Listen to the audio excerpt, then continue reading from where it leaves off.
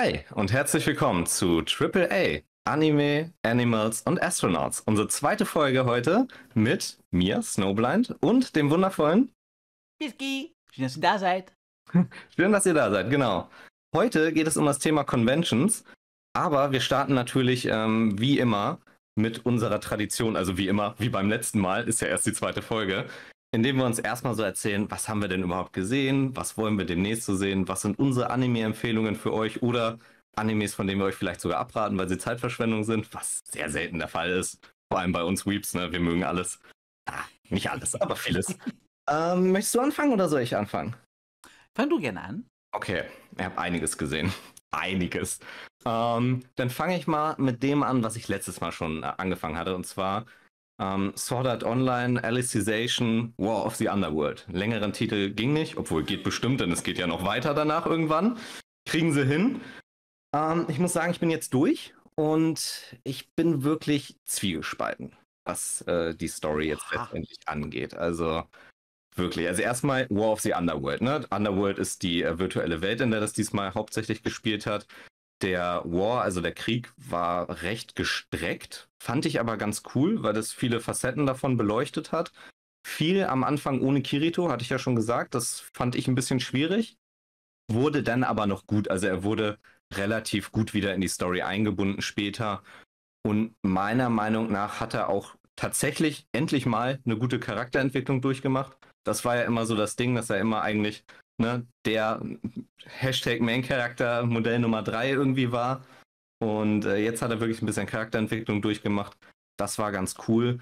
Gerade auch später in der, ähm, in der realen Welt, wo es dann ne, wieder zurückging, hat er wirklich auch so, so Sachen gesagt, wie dass er ähm, ja an der Welt zweifelt so ein bisschen, dass er lieber in virtuellen Welten lebt, dass er die Flucht in diese virtuellen Welten sucht und so weiter. Und das waren ja so Gedanken, sowas hätte er in erste Staffel oder so, das hättest du niemals von diesem Charakter gehört. Das fand ich sehr cool.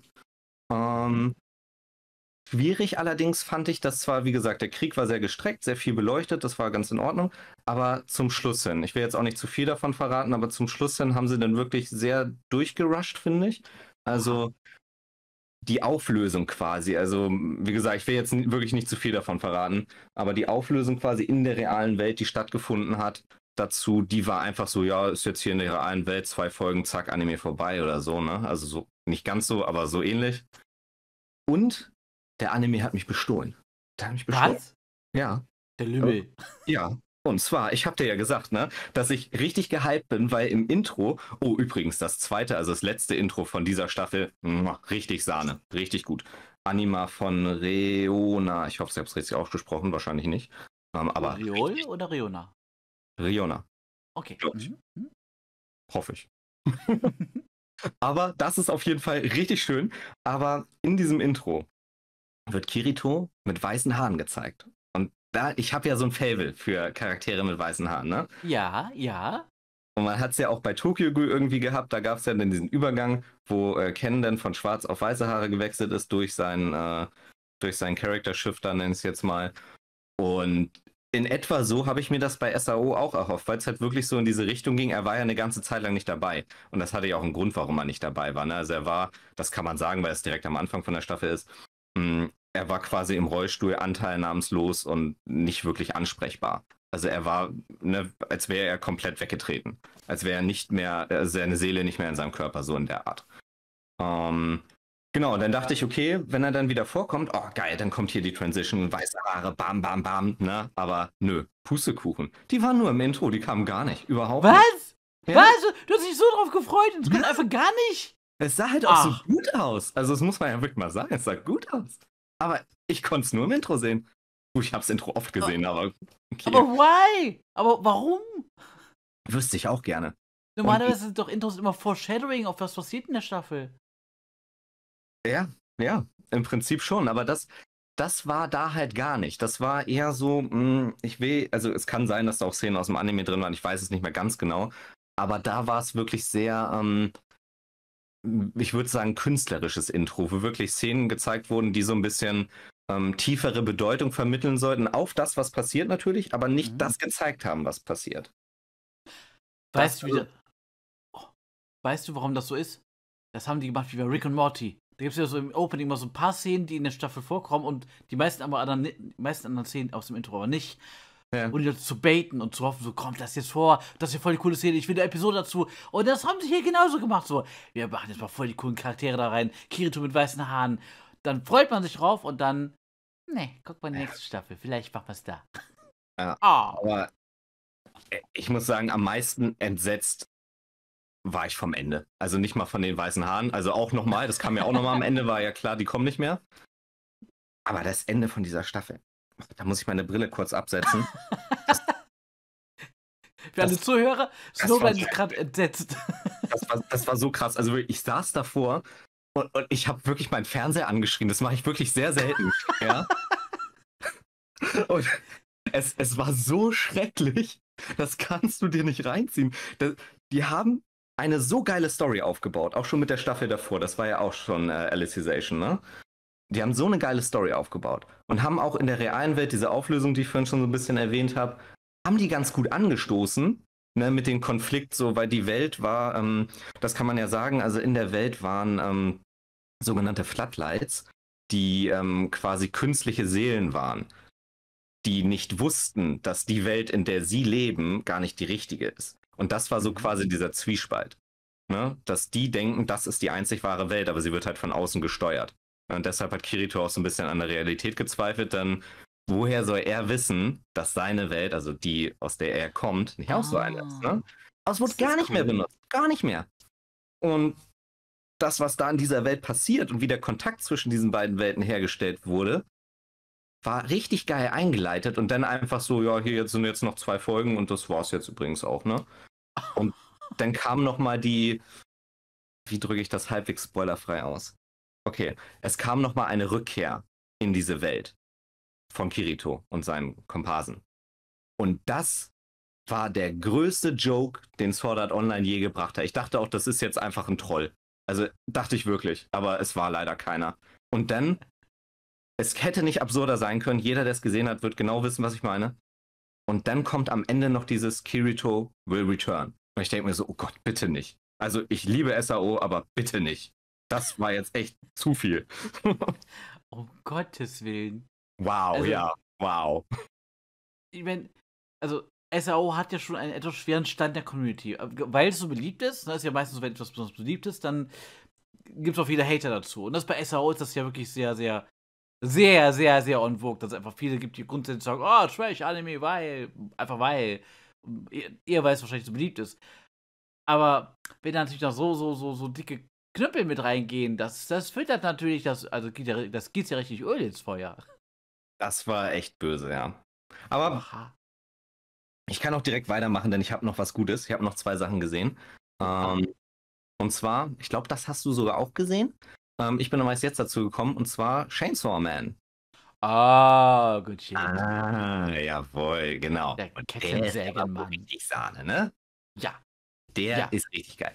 Also für alle, die, die nicht wissen, worum es geht, ist eigentlich relativ easy beschrieben.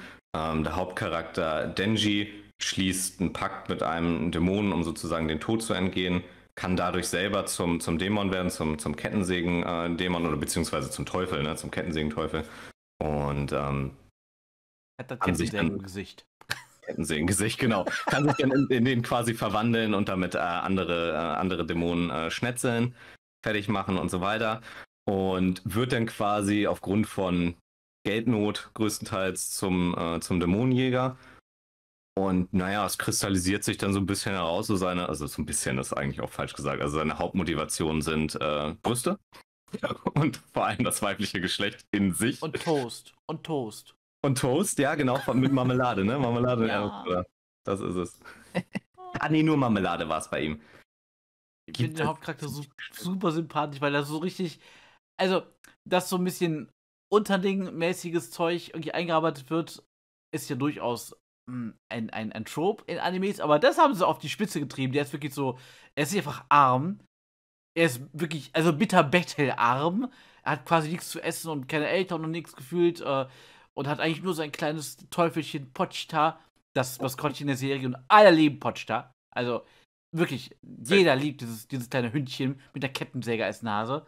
Und äh, er hat eigentlich nur das kleine Butz und äh, dann ja, äh, kriegt er die Chance eben als Dämonenjäger ein bisschen Geld zu kriegen und dann kann er nochmal essen und er hat auch Kontakt zu Frauen. Und er, er wird so richtig als der ultra, ultimative Versager dargestellt, aber auf so eine sympathische Art und Weise irgendwie. Man fühlt einfach mit ihm.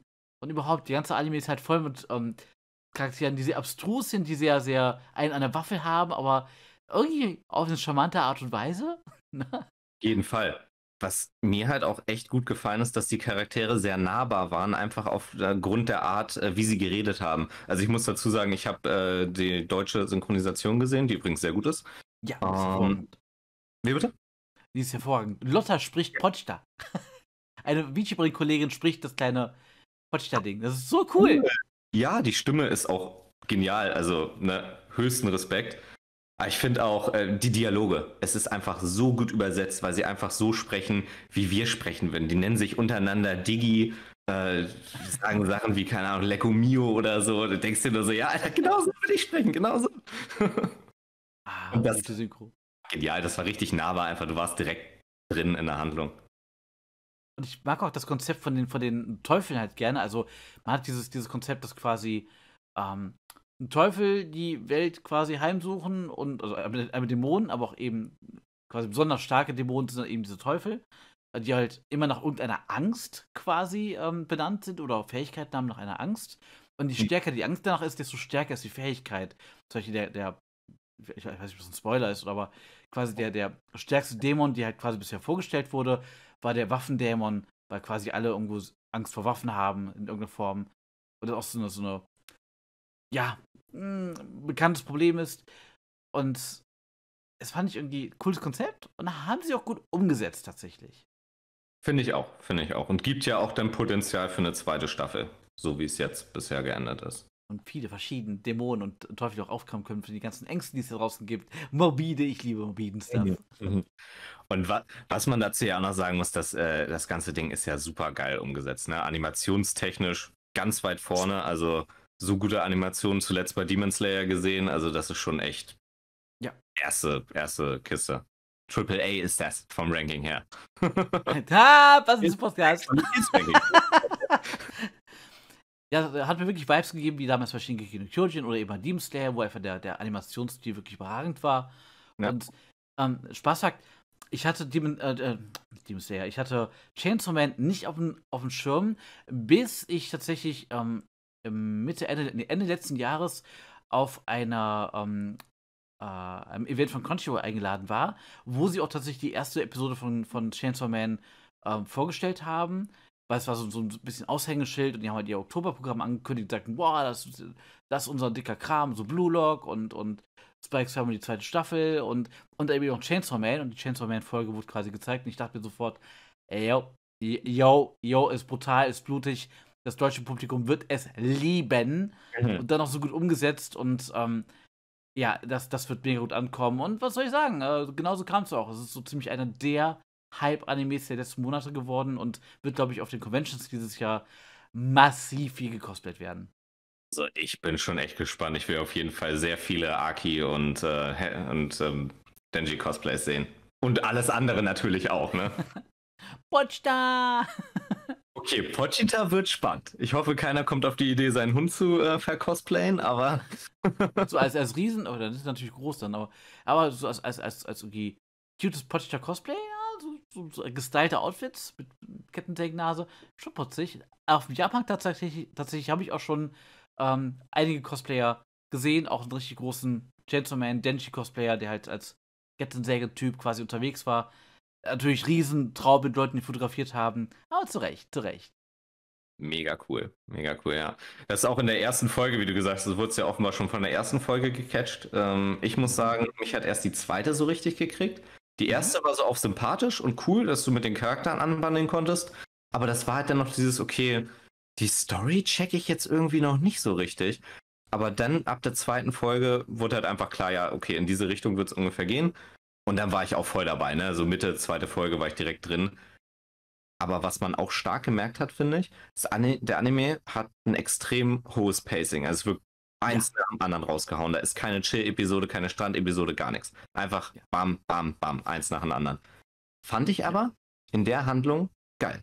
Weil es ist halt wirklich etwas düster, beziehungsweise sie nehmen das immer noch mit Joke, ne? Also sie sind da sehr witzig unterwegs.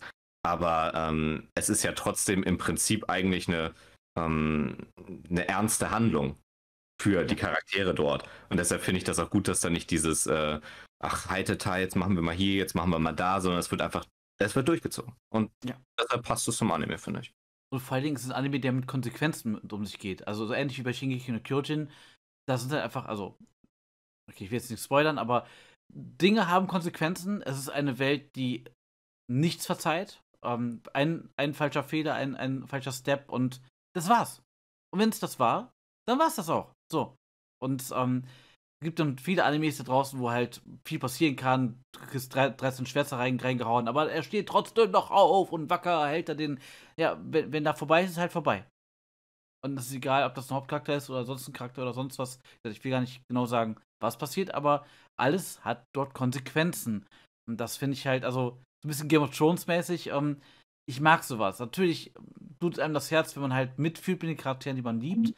Aber ähm, und sie ein, ein schweres Schicksal erleiden, aber das macht ein Anime halt unvorhersehbar und wirklich spannend. Ja. Absolut. Ähm, Thema Konsequenzen. Wenn du nichts mehr zu Chainsaw Man hast, würde ich damit nämlich direkt zu meinem nächsten und letzten Anime im Bunde überleiten. Gerne. Und zwar Platinum End. Habe ich aber noch nicht zu Ende gesehen. Hast du den gesehen? Nee, noch nicht. Aber war das nicht der. Ah, Moment. Ich muss gerade überlegen. War von einem sehr bekannten Mangaka oder, oder Anime-Regisseur ja. gewesen. War das nicht Death von Obata? Des, ja, Death Note Autor, von Obata-san, genau. Exaktamente. Man erkennt es auch direkt im Stil. Von, allein von der Zeichnung im Anime ähm, und auch von der Umsetzung. Du erkennst den Stil wieder. Und äh, die Handlung am Ende gleicht sich auch ein bisschen. Aber fangen wir erstmal an für alle, die es nicht kennen. Ähm, Platinum End hat einen sehr heftigen Einstieg, also wirklich sehr, sehr heftigen Einstieg. Ähm, der Hauptcharakter, seine ähm, Eltern sind zuvor gestorben ähm, und er lebt jetzt in einer Pflegefamilie, hat da mit äh, Gewalt und so weiter zu kämpfen, also ist da wirklich nicht glücklich. Also quasi so ein bisschen Harry Potter-Style, nur mit Schläge dazu. So kann man oh. sich das vorstellen. Oh. Und ähm, ja, da, da das so ziemlich in den ersten Folgen passiert, die Pflegefamilie ist auch in den Tod der Eltern halt mit involviert gewesen. Ähm, das heißt, er hat wirklich, wirklich schwer zu knabbern auf jeden Fall. Und die, ähm, die Staffel beziehungsweise die erste Folge beginnt damit, dass der Hauptcharakter auf dem Hochhaus äh, steht und, äh, und springt. Ja, tatsächlich. Krass. Also Aber, Suicide als, äh, Suicide als äh, Einstiegsthema. Ja, also wie, wie schon gesagt, mhm. sehr krasser Einstieg. Aber er kommt gar nicht erst unten an. Also er kommt, er schlägt nicht auf, denn er wird von seinem äh, Schutzengel sozusagen gerettet oder oh beziehungsweise aufgefangen quasi und wird dann vor die Wahl gestellt. Also, jo, ich habe dich jetzt hier gerettet und ich will dir einen neuen Lebenswillen geben. Du hast jetzt die Wahl, nimm meine Pfeile oder meine Flügel. Und das kann man sich so vorstellen, der Engel hat ihm quasi äh, Pfeile oder Flügel angeboten. Hm. Und es gibt ein, einen roten Pfeil, einen weißen Pfeil und die Flügel. Ähm, mit dem roten Pfeil kann er sich ähm, Menschen quasi gehörig machen. Also er schießt sie quasi mit dem roten Pfeil ab und die verfallen ihm dann sozusagen. Also sowas wie Amors Pfeil, dass sie alles für ihn tun würden, so in dem Stil. Mhm. Der weiße Pfeil finde ich für einen Engel ein bisschen untypisch und krass. Der tötet halt einfach. Mhm. Und also wie andere Pfeile auch. Hm? Also wie andere Pfeile auch. Ja, ja, Genau, aber Instant-Tod und äh, 360 No-Scope quasi, du musst einfach nur sagen, hier die Person, bam, weg. Der also, Cheater quasi, also ja. du, du, machst einen No-Scope in, in, in die Ferse und auf einmal dann fällt er um und sagt, ja, tot, tot halt. Ob so die genau. Ferse war. Fies! Und die Flügel halt logischerweise ne, zum Hin- und Herfliegen. Und du kannst nur mit den Flügeln auch den Pfeilen ausweichen, denn das ist tatsächlich nötig, denn er ist nicht der Einzige, der diese Fähigkeiten bekommt. Aber dazu kommen wir gleich. Er wurde ja vor die Wahl gestellt, Flügel oder Pfeile. Und der Charakter dann so, ja, pff, gib mir doch einfach beides. Und der Engel so, ja, okay. Da war ja auch so, okay. Ihr Schlund. Warum denn nicht gleich so? Ja, stimmt. Also die Option bestand ja offenbar beides. Und ähm, ja, es gibt tatsächlich, es gab auch einen Grund, weshalb der Engel das gemacht hat. Denn der hat es nicht nur aus Spaß gemacht, nicht nur um ihn zu retten, ähm, sondern es wird quasi gerade ähm, etwas ausgefochten. Ein, ein, ein, ja, wie soll man sagen, ein Kampf, Duell, keine Ahnung. Also nicht wirklich Duell. Aber mir fehlt gerade das richtige, das richtige Wort Wettbewerb. Ein Wettbewerb. Und zwar ah. um den Gott einer neuen Welt zu finden. Und da sage ich, das ist so die Parallele von äh, zu Death Note, weil, ne, wer wollte noch Gott einer neuen Welt werden? Ne? Wir hm. wissen, leid. Da ist es aber so, unser Hauptcharakter möchte das eigentlich nicht, denn er wollte ja eigentlich nur vom Hochhaus springen und sagen, hier, ciao Leute, ich bin da mal weg. Aber jetzt kriegt er halt die, ähm, die Pfeile und die, die Flügel und muss dann damit zurechtkommen. So, und dann erfährt er auch erst später, dass es quasi diesen, ähm, diesen Wettbewerb gibt und dass er jetzt Teil dieses Wettbewerb, Wettbewerbs ist. Und er sagt dann auch so, ja, nee, eigentlich habe ich da gar keinen Bock drauf. Ich will doch eigentlich nur ne, hier weg sein. Nimm mir das mal wieder weg. Das möchte ich gar nicht. Und der Engel so, ja, ich kann dir das zwar wieder wegnehmen, du, ne? Aber dann stirbst du halt, ne? Also ist ah. quasi win or die, ne? Entweder machst du hier jetzt mit und gewinnst, oder du stirbst, oder du machst mit und verlierst und stirbst, oder du gibst es ab und stirbst. Also es ist sehr hm. konsequent. Geht nur in eine Richtung. Ja, es ist sehr konsequent, sehr straightforward. Ich muss sagen, ich finde die, ähm, ich finde es ganz interessant, weil du, wie gesagt, es sind dann noch andere ähm, Charaktere, die dann auch diese Fähigkeiten bekommen haben. Also ebenfalls diese ähm, Pfeile und Flügel und auch verteilt. Also manche haben nur die Pfeile, manche nur die Flügel. Hängt so von dem Rang des jeweiligen Engels ab. Gibt, ich glaube, es waren insgesamt 13, die jetzt da um diesen Titel, oh, gut, um den höchsten Titel, den es überhaupt gibt, Gott zu werden, äh, konkurrieren. Und einige haben da natürlich richtig Bock drauf, andere, wie unser Hauptcharakter, eher nicht so. Aber er wird natürlich trotzdem reingezogen, ne, indem er sieht, was die anderen teilweise machen, dass sie die Pfeile benutzen, um Verbrechen zu begehen, sich äh, zu beglücken, Vorteile zu verschaffen. Ne? Und nimmt quasi auch so ein bisschen die Leitrolle ein, ne, dass er das dann quasi lösen möchte. Gut, ich habe davon jetzt ähm, fünf, fünf, sechs Folgen gesehen. Finde es sehr spannend, werde es auf jeden Fall weitersehen. Es gibt, glaube ich, 24 Folgen, sind auf jeden Fall ein paar mehr. Mhm. Werde ich dann beim nächsten Mal wahrscheinlich. Also, wenn es weiter so spannend bleibt, dann werde ich es bis zum nächsten Mal durchhaben. Dann kann ich euch nochmal sagen, wie es sich so entwickelt hat. Aber wo, bisher. Wo, scha wo schaust du es gerade? Äh, wo ich das gerade schaue, Crunchyroll. Ah, sehr schön. Das, ich glaube, yeah. das will ich mir auch mal anschauen. Weil, ähm, in der Tat, äh, Obata, guter, guter Zeichenstil und auch gute Storyline. Death Note war nicht umsonst einer der großen Anime-Manga-Titel in so 2006 herum und bis dato, also bis heute ist er relevant geblieben. Ähm, das heißt, da gab es damals eher das Thema Shinigami, also Todesgötter, und hier ist quasi das Thema Schutzengel, richtig? Ja. Spannend, spannend. Also, wie gesagt, der kann Designs halt wirklich gut. Äh, also Ryuk und Co. waren einfach, ne, waren einfach wirklich krasse Designs. Ähm, ich weiß noch, dass mich damals dieses, es gab so, so ein Bild von, von äh, Light und, und Ryuk nebeneinander, so hinter so einer, ich weiß nicht, so einer Polizei, so Mock, Mock, Mockshot war das, glaube ich. Äh, Glaub, ich weiß, welches Bild du meinst. Das heißt, und das ist einfach so ja. impressive, weil einfach, du siehst so einen clean, hübschen Boy, so Anime-Boy und daneben dieses groteske Monster. Und ich fand das von der Ästhetik her so cool. Und jetzt bin ich doch auf Platinum End echt gespannt, weil ich konnte mir nie so wirklich drunter vorstellen, der, der Manga ist schon vor einiger Zeit rausgekommen. Und ich bin eher der Manga-Leser als Anime-Schauer. Mhm. Ähm, aber ich habe halt keinen Zugang gefunden, weil ich die Story auch nicht kannte. Und ehrlich gesagt, jetzt hast du mir einen Grund gegeben, dabei reinzuschauen, weil das klingt echt cool. Ja, auf deine Meinung dazu bin ich dann auch sehr gespannt, ne? Aber du wirst den Stil sofort erkennen. Also hättest du ein Bild von dem Anime gesehen und hätte gefragt, von wem oder mit welchem Anime ist der ähnlich, hättest du sofort Death Note gesagt. ja, also ich habe immer halt Flügel gesehen und also deswegen da hat sofort geklingelt äh, in dem, in dem äh, glaube ich, ersten Manga-Cover ähm, ist auch irgendwie ganz viel mit Flügeln und Federn zu sehen. Also, okay, jetzt macht es aber für mich Sinn, es geht um Schutzengel und die haben wahrscheinlich alle Engelsflügel.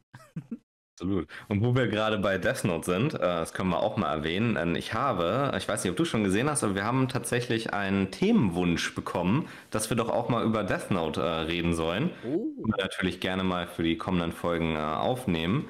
Und, Sehr gerne. Was ich da noch ergänzen wollte, ihr könnt natürlich unter den YouTube-Videos, da kann man ja Kommentare hinterlassen oder auch gerne hier im Chat ähm, Themenvorschläge machen oder auch generell sagen, wie ihr den Podcast so findet, was ihr so für Vorschläge, was ihr für Themen gerne hättet. Könnt ihr gerne alles reinschreiben, wir lesen das auf jeden Fall alles und äh, ja, sind immer froh über äh, Input von euch.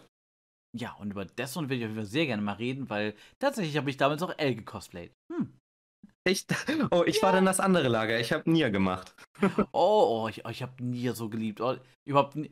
Viele, viele haben ja damals gesagt, so, ja, nach, nachdem L mh, hm, Dinge passiert sind äh, und, und Nier und äh, Matt, quasi, äh, nee, Nier und Mello und natürlich auch Matt, der für drei Panels nur zu sehen war, aber ein eigenes Fandom bekommen hat, ähm, äh, mehr in Erscheinung getreten sind, dann, dann ah, haben viele irgendwie abgeschaltet oder so. Aber nee, ich fand, es hat komplett frischen Wind reingebracht und ähm, nochmal ein ganz anderer Aspekt. Und äh, ja, auch wenn ich L liebe geliebt habe und so weiter, fand ich, habe ich Nie und, und Mello auch absolut gefeiert. Daher. Ah, ich ja. habe sie auch mega gefeiert, vor allem mir halt, na klar, sonst hätte ich ihn auch nicht gecosplayt, weil das Diese war auch Haare. I see why. Ja, ja entschuldigt, im Sinne der Anklage.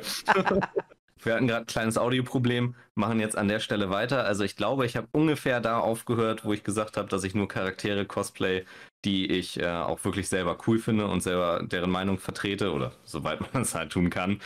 Und äh, bei mir war das tatsächlich auch der Fall. Den Charakter fand ich sehr, sehr cool. Ähm, und genau, was ich gerade sagen wollte, wo wir abgeschmiert sind, ähm, dass es ja super interessant ist, wie es überhaupt dazu gekommen ist. Denn Nier und Mello waren tatsächlich nicht geplant am Anfang, Ach. sondern wurden dazugenommen, weil äh, ich glaube schon Jump war es, wo es erst veröffentlicht wurde, weil die wollten, dass es. Ähm, ups, oder?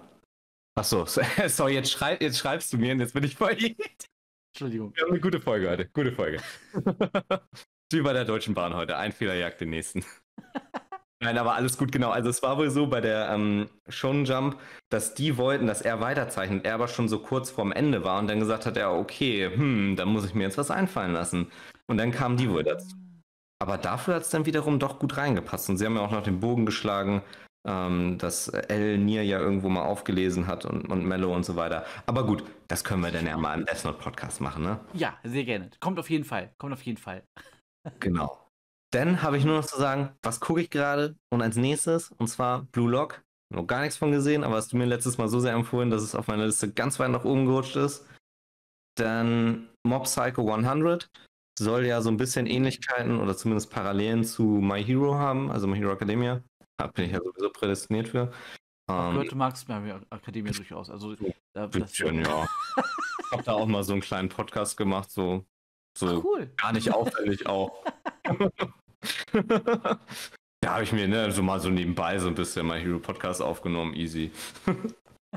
ich bin da immer so lange dran, ne? Ich bin so froh über diesen Podcast, also den wir jetzt hier haben. Ist so schön einfach im Vergleich.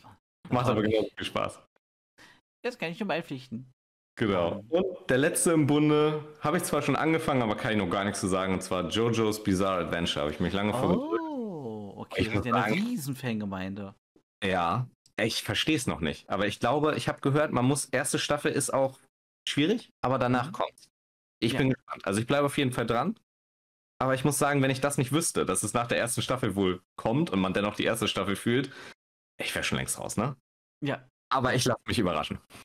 Ja, also Jojo hatte eine sehr, sehr ähm, eingeflechte, also wirklich eingeflechte äh, Fangemeinde. Es gibt ja auch eine Trillion Memes äh, von, von und speziell diesem Anime. Und äh, fairerweise bisher hat mich auch der Zeichenstil noch abgeschreckt. Er ist halt sehr markant und sehr, also die Charaktere sind schon, jetzt nicht so wie schon und hübsch mäßig gezeichnet, sondern eher äh, sehr kantig.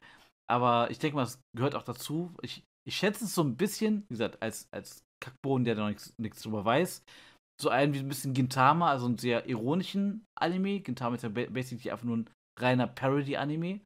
Ähm, und äh, vielleicht so ein bisschen geht es ein bisschen in die Richtung. Aber ja, irgendwann will ich es auch noch geben. Aber ich glaube, das sind auch viele. Ähm, ist unendlich ja. gefühlt. Ja. Ist unendlich. auch wie James Bond, dass der Jojo quasi auch immer ausgetauscht wird, ne? Dass da Jonathan Joestar, Jolene Joestar und so weiter. Ich kenne die Namen alle noch nicht, weil ich erst in der äh, erste Staffel noch drin bin, aber natürlich schon viel darüber gehört habe. Und man sagt ja auch, das Internet ist anders, wenn du Jojo gesehen hast. ja, verstehst du? Okay, das, das ist ein boldes Statement. Das ist ja cool. Okay, das macht es doch mal echt nochmal noch mal eine Ecke spannender. Wie, wie viele Staffeln gibt es jetzt von, von Jojo? Tausend? Nein, also ich glaube, auf Netflix sind aktuell, also es ist auf Netflix jetzt. Und das hat mich so irritiert, hm, weil Netflix eine ganze Zeit lang nur die, ich glaube, dritte oder vierte Staffel drauf hatte, also die mit Jolene.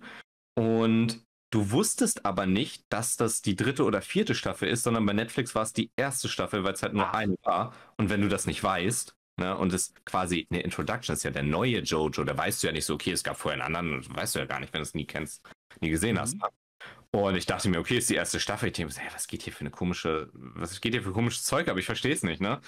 Und dann habe ich, haben sie jetzt aber die ersten Staffeln auch endlich drauf und haben die, die ich damals angefangen habe, als dritte oder vierte jetzt einkategorisiert. Und jetzt verstehe ich es auch. Ne? Also so langsam, ich verstehe es noch nicht, aber ich verstehe, warum ich es verstanden habe. oh, spannend. Aber du kannst auf jeden Fall auf Netflix sehen. Okay, ja, das ist jetzt auch immer stärker, was Anime angeht. Ja, das ist wahr, das ist wahr. Also ich muss ja zugeben, dass ich doch sehr viel äh, Animes über Netflix geschaut habe, so in den letzten Jahren, obwohl es ja nur eingeschränkte Auswahltitel gibt, aber schon durchaus einige.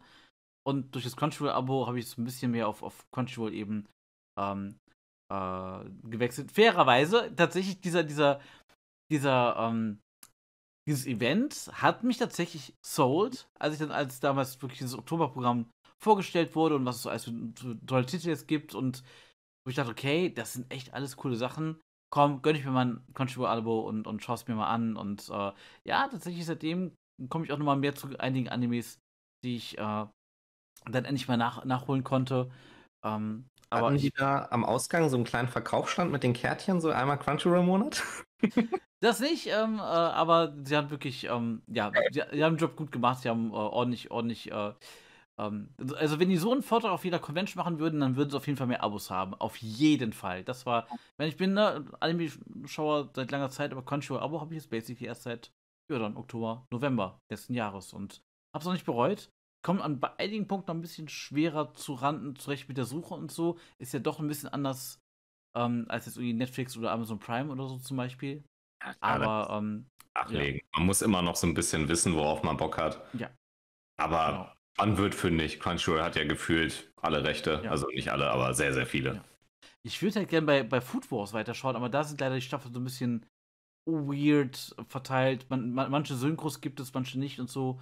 Und ich habe halt schon ein paar Staffeln Food Wars geschaut und würde jetzt, glaube ich, die vierte oder fünfte weiter gucken wollen. Und da war leider irgendwie nicht alles da, was ich, äh, ähm, was ich schauen wollte. Ähm, daher, da habe ich, da habe ich ein bisschen drüber gestolpert. Zumal ich also doch sehr gerne im japanischen O-Ton schaue, damit deutschen oder englischen Untertiteln.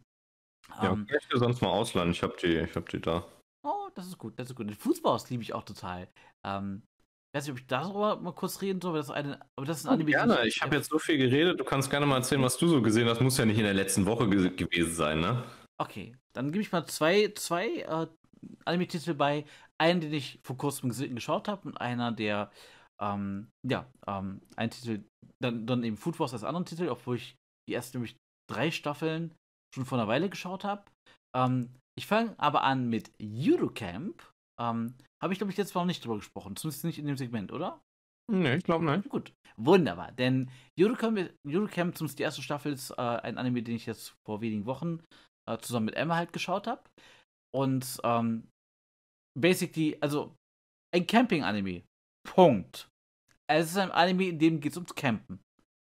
Aber, okay. äh, das, deswegen Yuru Camp, also Laid Back Camp ist quasi die Übersetzung. Ähm, aber er ist ein unfassbar atmosphärischer Anime.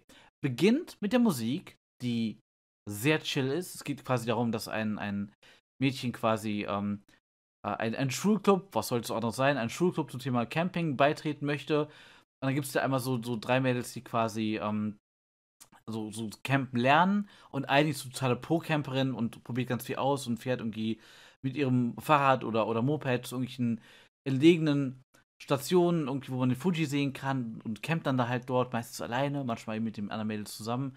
Und es ist wirklich ein, ähm, ja, so ein bisschen Slice of Life, ähm, bisschen silly, aber vor allen Dingen unfassbar atmosphärisch und chill.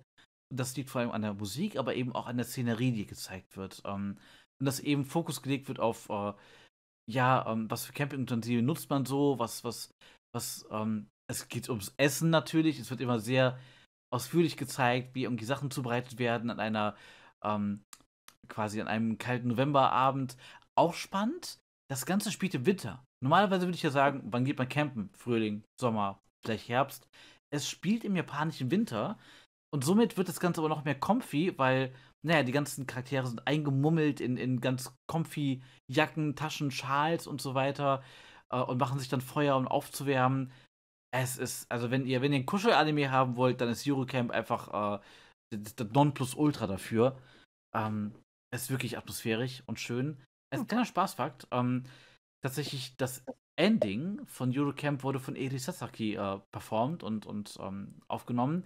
Die war vor einigen Jahren auf der Dokumi und auch gerade, dass das Ending irgendwie so, so total beliebt war mit Millionen von Aufrufen. Und Eri wurde damals eine, eine ähm, Stimme nachgesagt, die so im eine, eine Healing Voice quasi ist. Also eine Stimmlage, die einem angeblich heilen Spektrum irgendwie mit drin ist.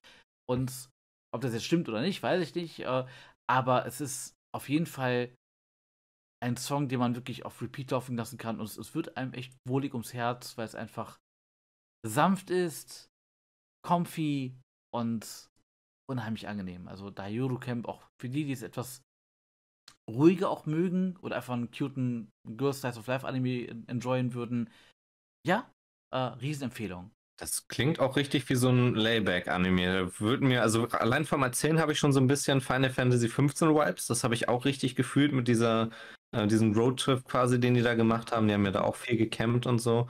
Nicht so extrem wie bei Eurocamp dann wahrscheinlich. Aber also vom Feeling her kann ich mir das echt gut vorstellen. Ich glaube, da würde ich echt gerne mal reinschauen. Ähm, weißt du, ob es den schon als Dub gibt? Als Dub, ich glaube schon. Also der ist schon was älter, also was älter. Mhm. 2016, 2017, glaube ich.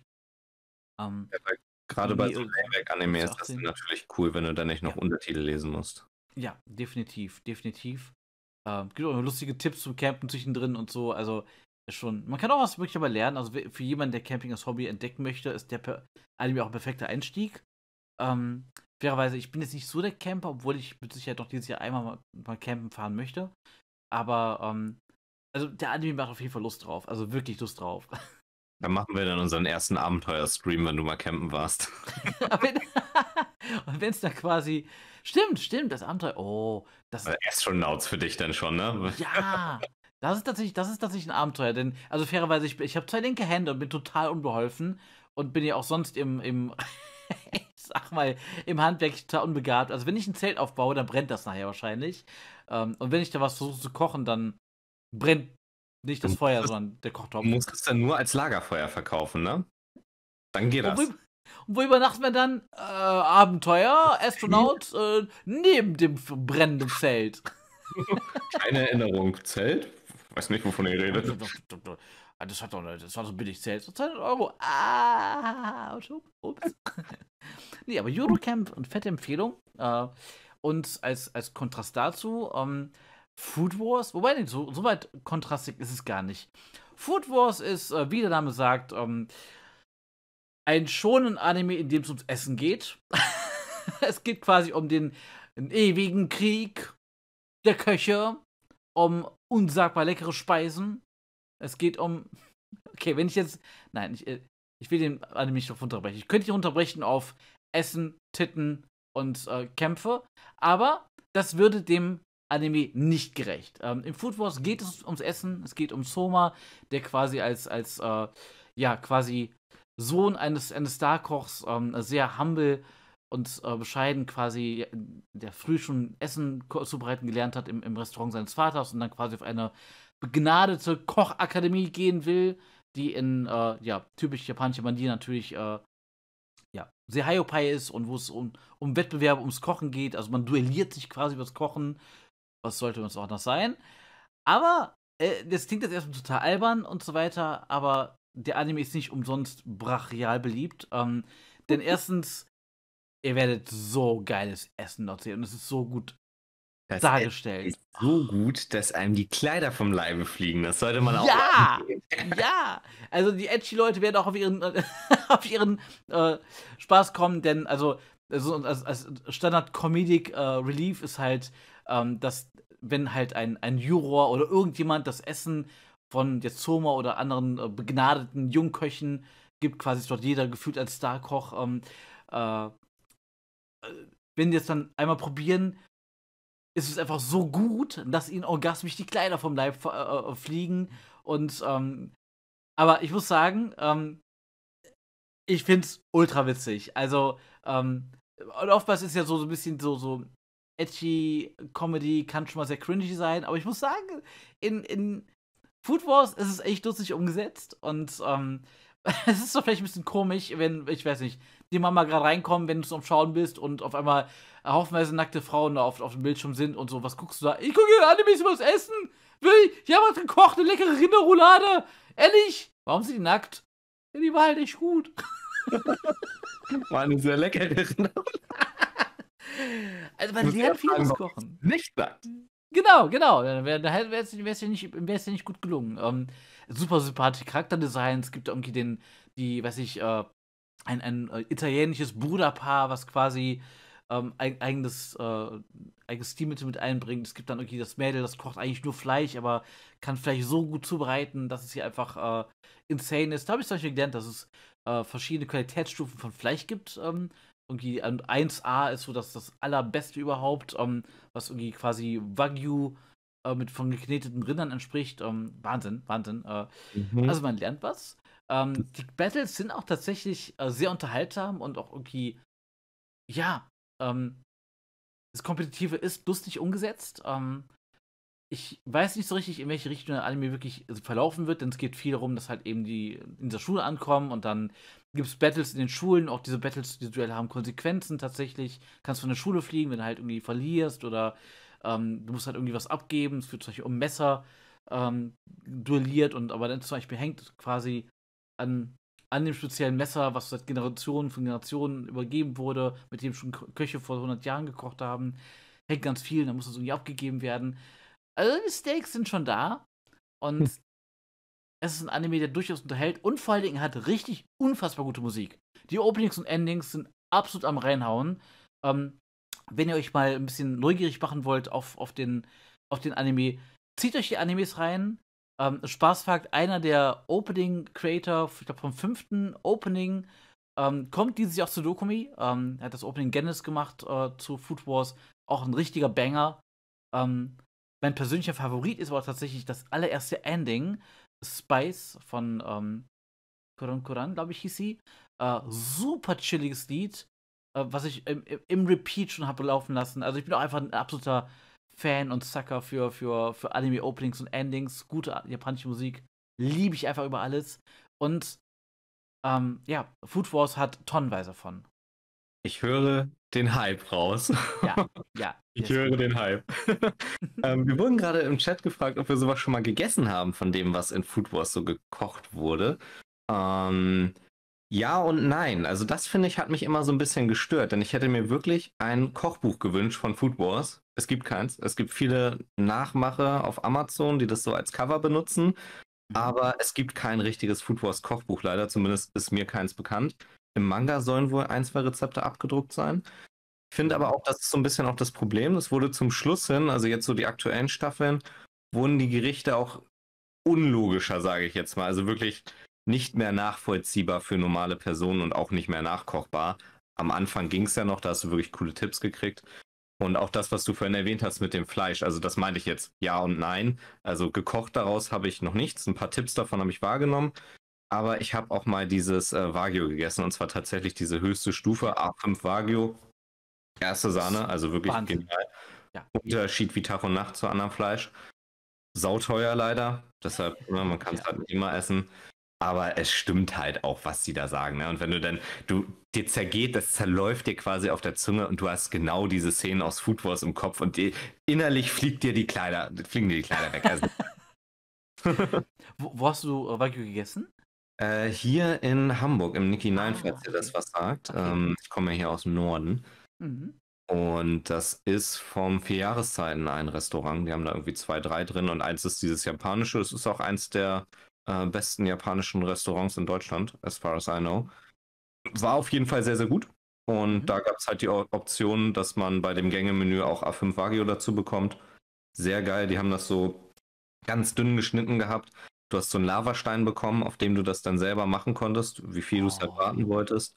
So ein schönes Maldon-Salz dazu und noch ähm, so eine, ja, nicht Marinade, so eine Art Soße, wo du es reintunken konntest, aber ganz ehrlich, musstest du gar nicht. Also, die haben auch gesagt, so, ne, die es dazu, weil viele essen das gerne damit, aber wir empfehlen auch wirklich, ne, einmal kurz anbraten, wirklich nur so ein bisschen, Maldon-Salz drauf und gib ihm. Und genau das war auch der Way to go.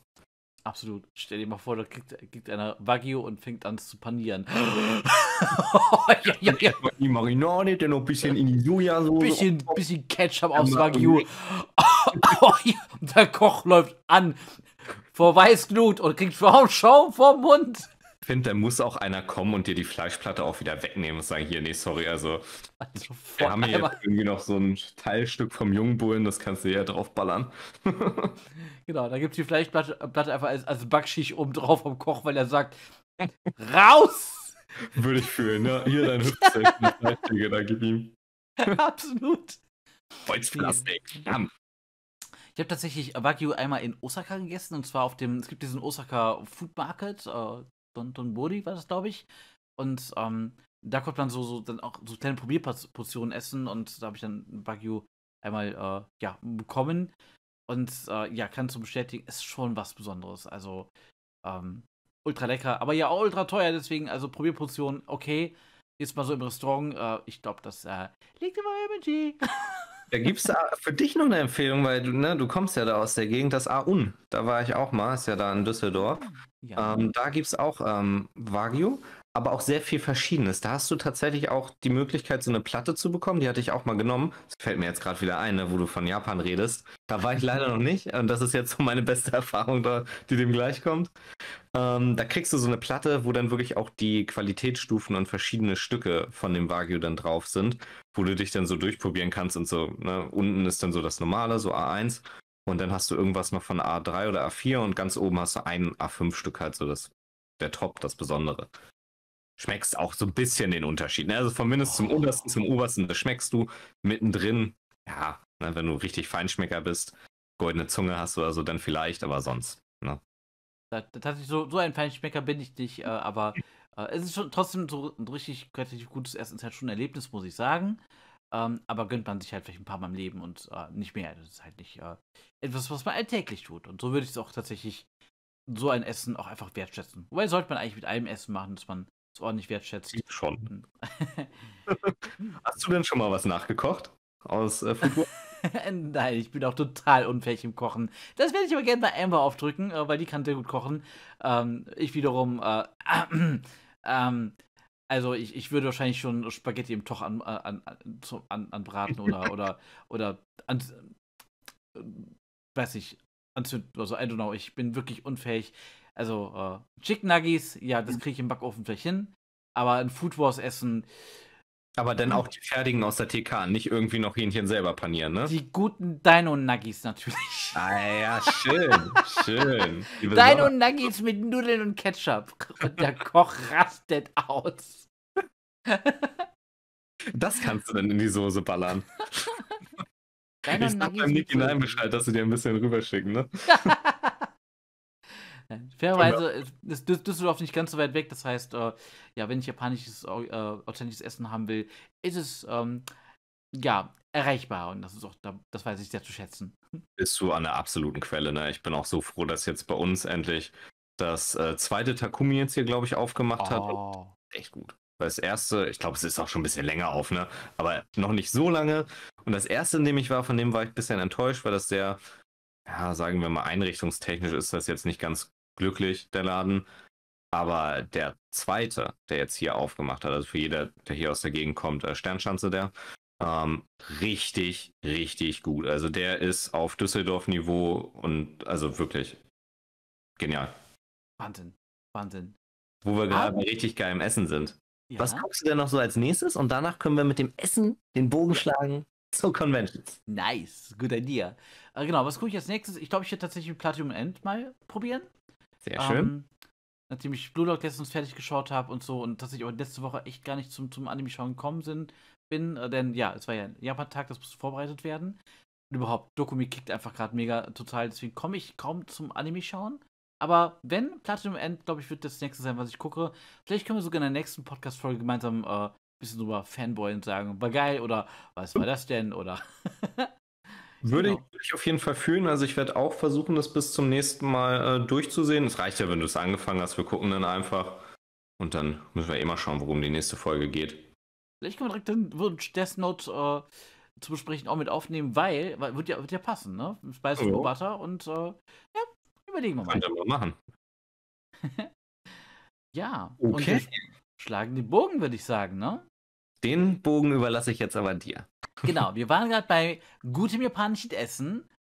Da, ja, hast du schon das Stichwort genannt, Düsseldorf. Ähm, also ohne Flachs, wenn ihr gutes japanisches, authentisches, gutes japanisches Essen haben wollt, dann werdet ihr nirgendwo in Europa und auch nirgendwo in Deutschland so eine krasse Auswahl finden und an so gute Qualität wie eben in Düsseldorf, ähm, wo ihr für ja, äh, alle möglichen Preistassen richtig gut japanisch essen gehen könnt, ob Ramen, ob äh, äh, Tonkatsu, ob Okonomiyaki, ob Sushi, also ganze pa ähm, Palette und Bandbreite findet ihr dort. Ähm, und äh, warum ist das so? Weil in Düsseldorf halt die größte japanische Gemeinschaft ähm, von Deutschland eben zu Hause ist, schon seit, seit vielen Jahren, Jahrzehnten sogar. Äh, das ist da wirklich äh, quasi gewachsen. Und äh, deswegen gibt es unter anderem auch in Düsseldorf den Japantag, der, ähm, wo wir den Podcast aufnehmen, gestern gewesen ist, am 13. Mai ähm, 2023.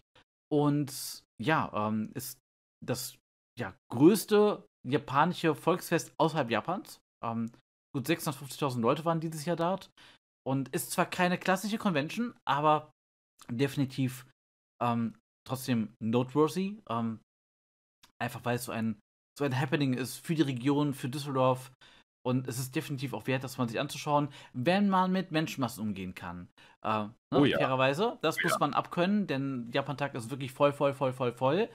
Ähm, äh, ja, von äh, auch dazu kleiner Schlag. Ähm, äh, was unsere beiden Hintergründe angeht, warum wir vor allem zum Thema Conventions echt eine ganze Menge sagen können. Ähm, ich bin selber Orga einer kleinen Convention, äh, auch in Düsseldorf. und ähm, ja, ne, heißt Dokumi oder so, kommen ein paar Leute hin. Ähm, ja, ist auch eine jetzt ganz kleine Randconvention, ne? ja, ist ein bisschen, bisschen äh, ist putzig.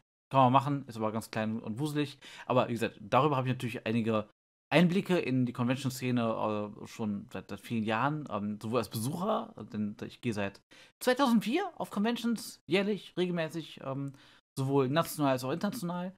Ähm, und wie gesagt, organisiere selber, habe dadurch einiges an, an äh, Background. Und auf dem Japan-Tag haben wir auch einiges organisiert, nämlich unter anderem ähm, den Manga-Zeichenwettbewerb, den offiziellen für, für den Japan-Tag, äh, zusammen mit dem Takagi Bookstore. Und äh, dazu erzähle ich gleich ein bisschen mehr, aber dann erzähl doch du ein bisschen was zu deinem Convention-Hintergrund. Mein Convention-Hintergrund, ja, okay. Der ist ja eher so ein bisschen mit meinem Cosplay-Hintergrund verknüpft. Ich habe ungefähr 2015, 2016, na, ich glaube eher 2016, ähm, mit Cosplay angefangen. Davor aber schon Anime begeistert und so weiter.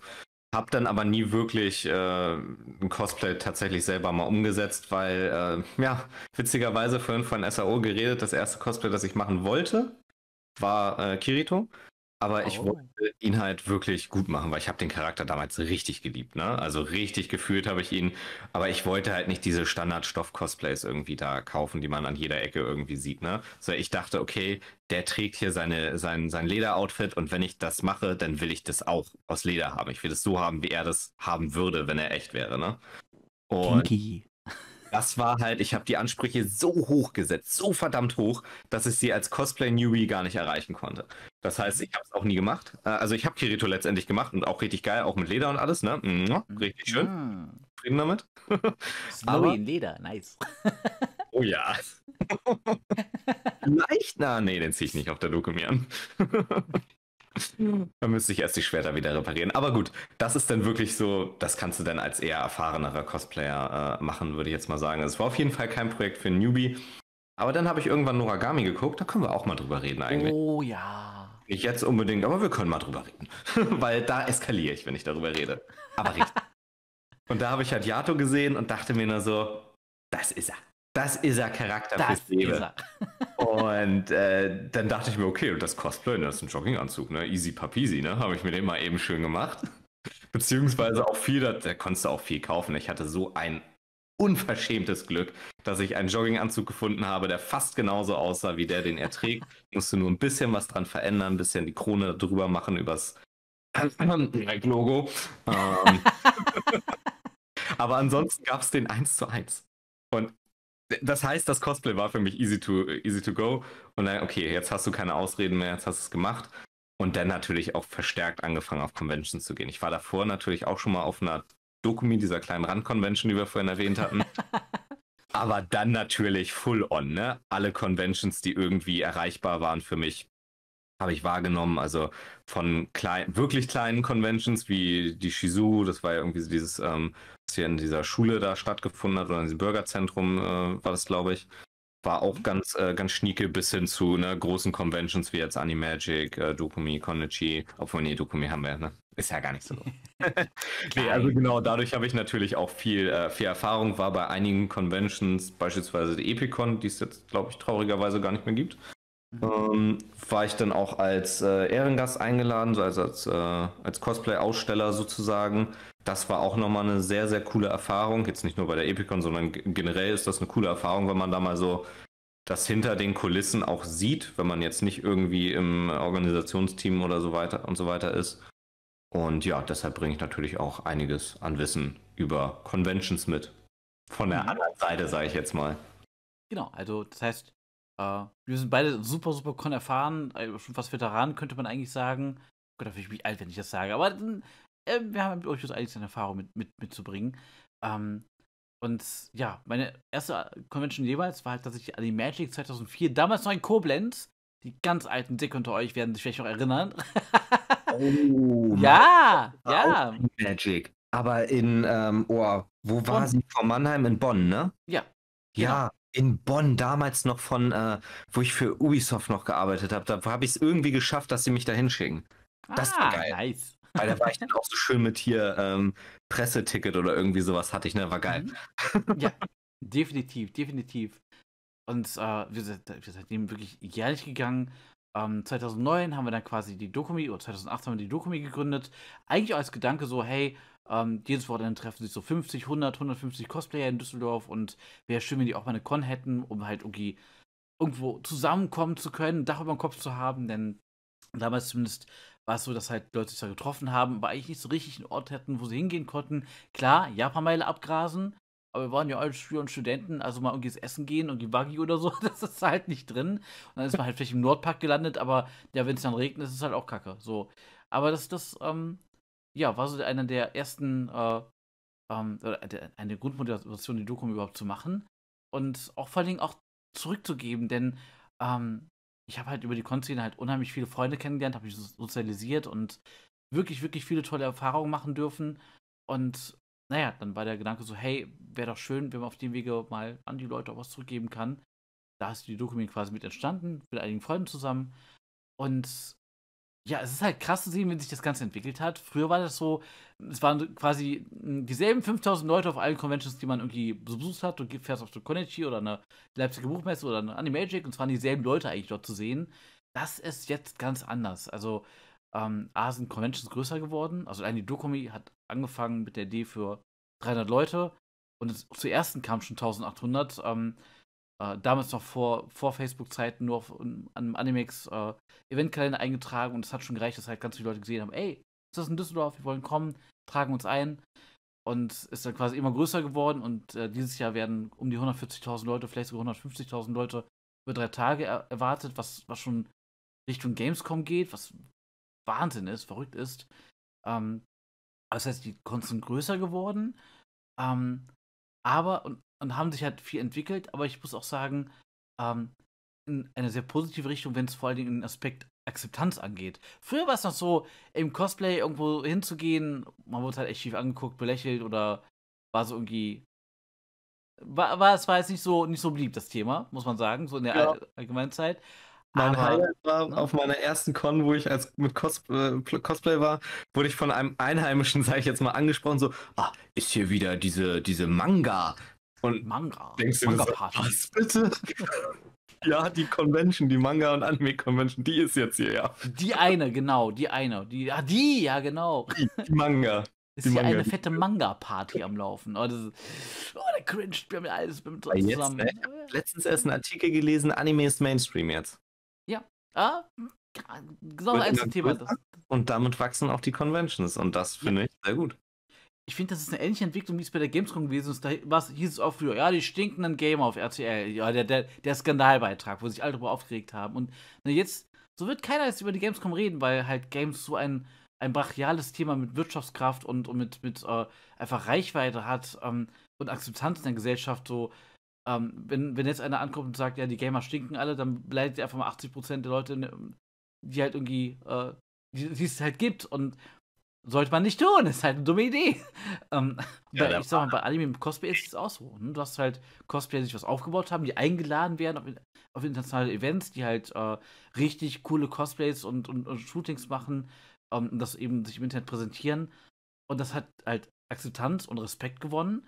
Ähm, das wird keiner mehr sagen, boah, Cosplay ist cringe. Wenn du einfach eine richtig wunderschöne Cosplay vor dir siehst, die halt irgendwie einfach, äh, weiß ich, aussieht wie eine Prinzessin, weil sie einfach äh, ein wunderschönes Outfit anhat, auch mega attraktiv ist und einfach, einfach, ähm, da soll der andere erstmal gegenüber anstinken, würde ich sagen, ne? Coole, gegen coole Make-up-Skills und einfach das Crafting dahinter.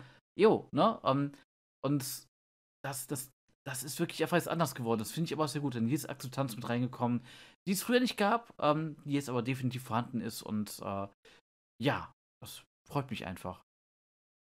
Auf jeden Fall. Also, das finde ich halt auch gut. Also mit den Conventions wird den ganzen Leuten einfach die, einen Raum gegeben, sich zu, ja, wie du schon gesagt hast, zu sozialisieren, zu treffen, über das Hobby zu sprechen, mehr über das Hobby kennenzulernen, ne? Cosplayer zu treffen oder auch äh, sich über neue ähm, Animes, Mangas, was auch immer zu informieren, an dem Rahmenprogramm teilzunehmen. Und das finde ich auch cool, dass sich Convention zu Convention auch Unterschiede rauskristallisieren. Also dass wirklich jede Convention hat so ein bisschen sein Motto.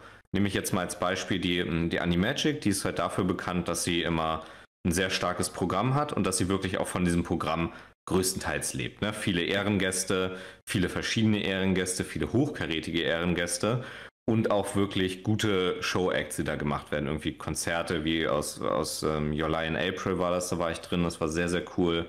Es werden teilweise Folgen aus Animes gestreamt, die noch nicht veröffentlicht sind.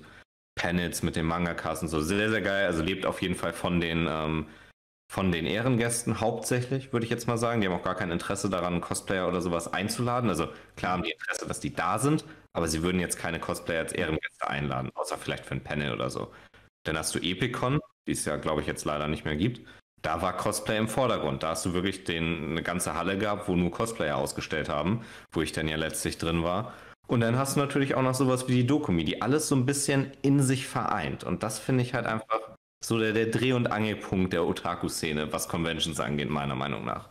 Ja, tatsächlich ist auch der, der Anspruch der Dokumi, ähm, quasi nicht in einem, einem Bereich so bei uns herauszustechen, wie zum Beispiel eine Animagic über Ehrengäste, sondern wir versuchen wirklich in die Breite zu gehen und allen oder möglichst vielen Communities innerhalb der Otaku-Szene, die ja wirklich sehr, sehr vielfältig ist. Du hast die Flächenenthusiasten, Musikfans, du hast Tänzer, du hast die Zeichner, du hast die Cosplayer, du hast Manga-Fans, du hast Anime-Fans, selbst das sind ja schon zwei verschiedene Gruppen, dass man quasi denen eine Plattform bieten kann mit verschiedenen Programmpunkten auf der Con und da wirklich breit aufgestellt ist.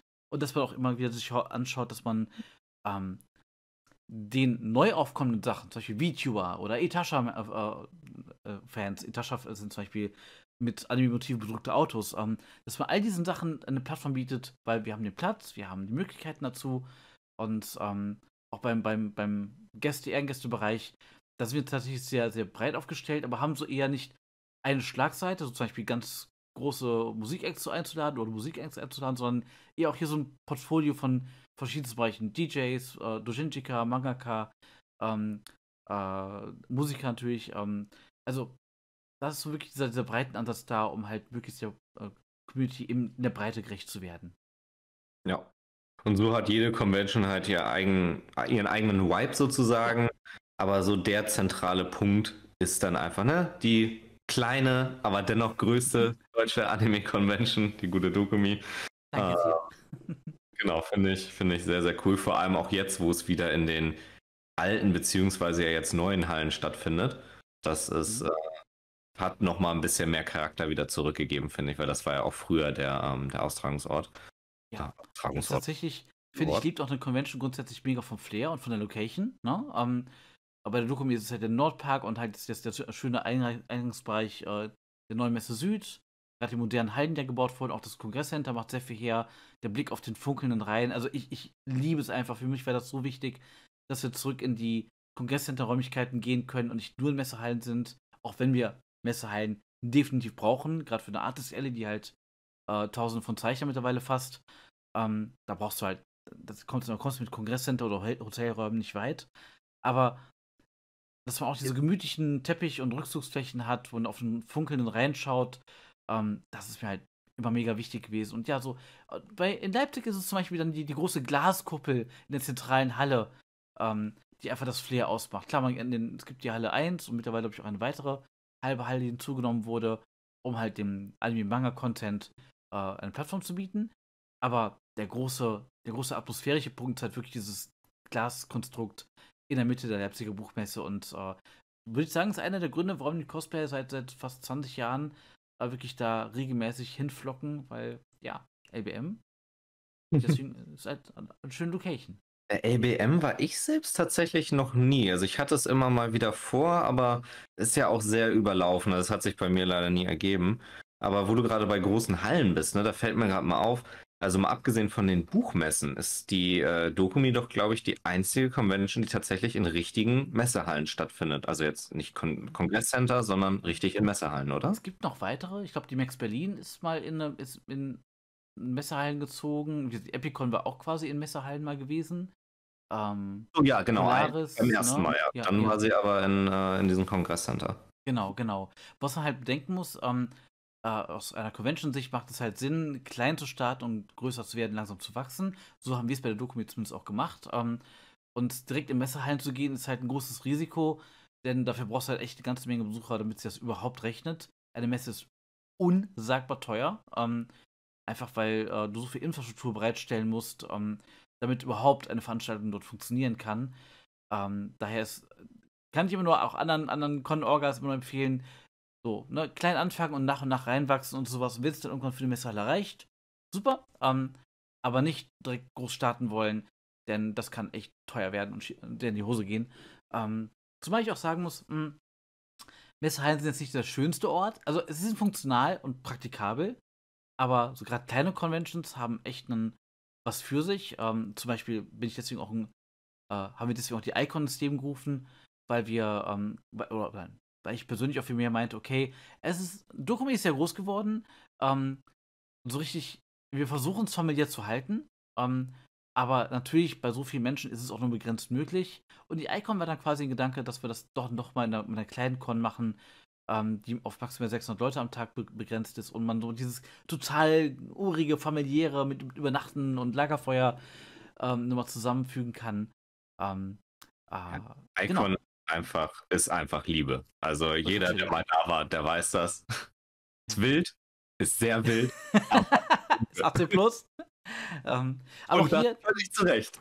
da würde ich einmal ganz gerne an der Stelle auch ein bisschen Credit geben an die Yayuko in Dachau, wo das Konzept ein Stück weit herkommt und, und die ich auch sehr gerne früher besucht habe. Gibt es leider auch nicht mehr, aber war auch eine ganz, ganz kleine Convention mit 18 plus äh, als, als quasi ähm, also man musste 18 sein, um die Veranstaltung teilnehmen zu können. War auch mit Übernachten vor Ort und auch Fokus auf Yaoi und Yuri.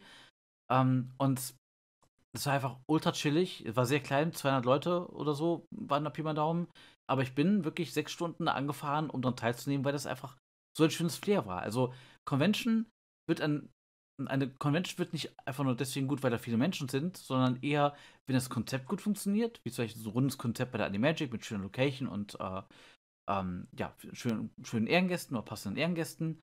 Ähm, oder eben bei der Dokumi, wo einfach so komplett Party ist überall, wo ähm, es ganz viel Variation gibt im Programm. Oder ich bin, persönlich bin ja auch großer Fan von den Zeichnern vor allen Dingen vor Ort, äh, wo man einfach absolut bis zur Eskalation shoppen kann, was halt äh, Zeichner angeht, äh, wo man neue oh, Sachen ja. Äh, finden kann, die man sonst halt nirgendwo kriegt. Ne? Ähm, oh, einfach zwei Tage, um die Artist Alley abzulaufen.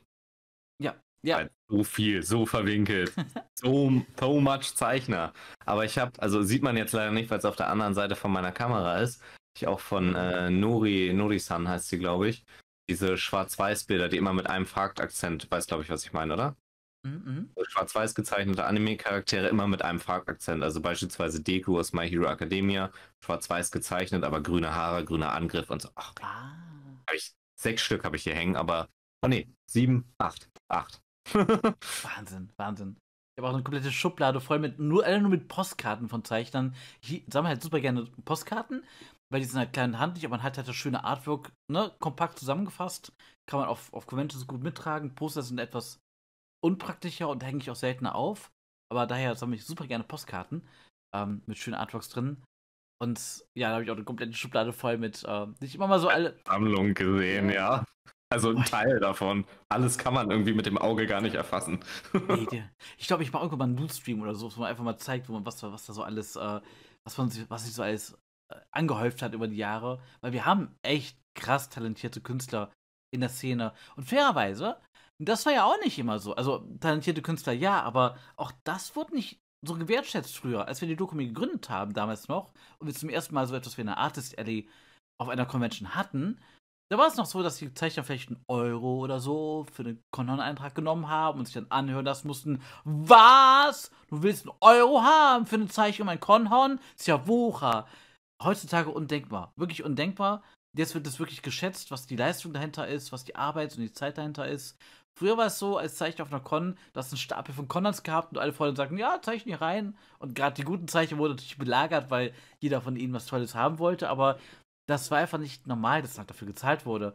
Und ich sag mal, für Freunde, klar kann man das machen, aber die wurden wirklich belagert. Manche Zeichner konnten quasi, die konnten gar nicht richtig genießen, weil sie quasi von einem Konto ins nächste zeichnen mussten. Und ich finde, ja. das ist fairer geworden jetzt. Ja, ja, und das ist ja auch nicht, äh, nicht sinnvoll quasi, beziehungsweise ist ja nicht zeiteffizient, wenn du wirklich in jedes Konhorn vor Ort zeichnen musst, hast du ja gar keine Zeit mehr, na, noch was anderes zu machen und im Zweifel auch nicht alle Konhorns da voll zu kriegen. Also da bin ich dann auch eher ein Fan von, äh, kauf dir was, was hier gezeichnet ist und angeboten wurde und krieg in dein Konhorn eine kleine Kritzelei und eine Unterschrift oder sowas und dann, dann ist gut, ne? Also schätze den Künstlerwert, aber auch seine Zeit. Genau, genau.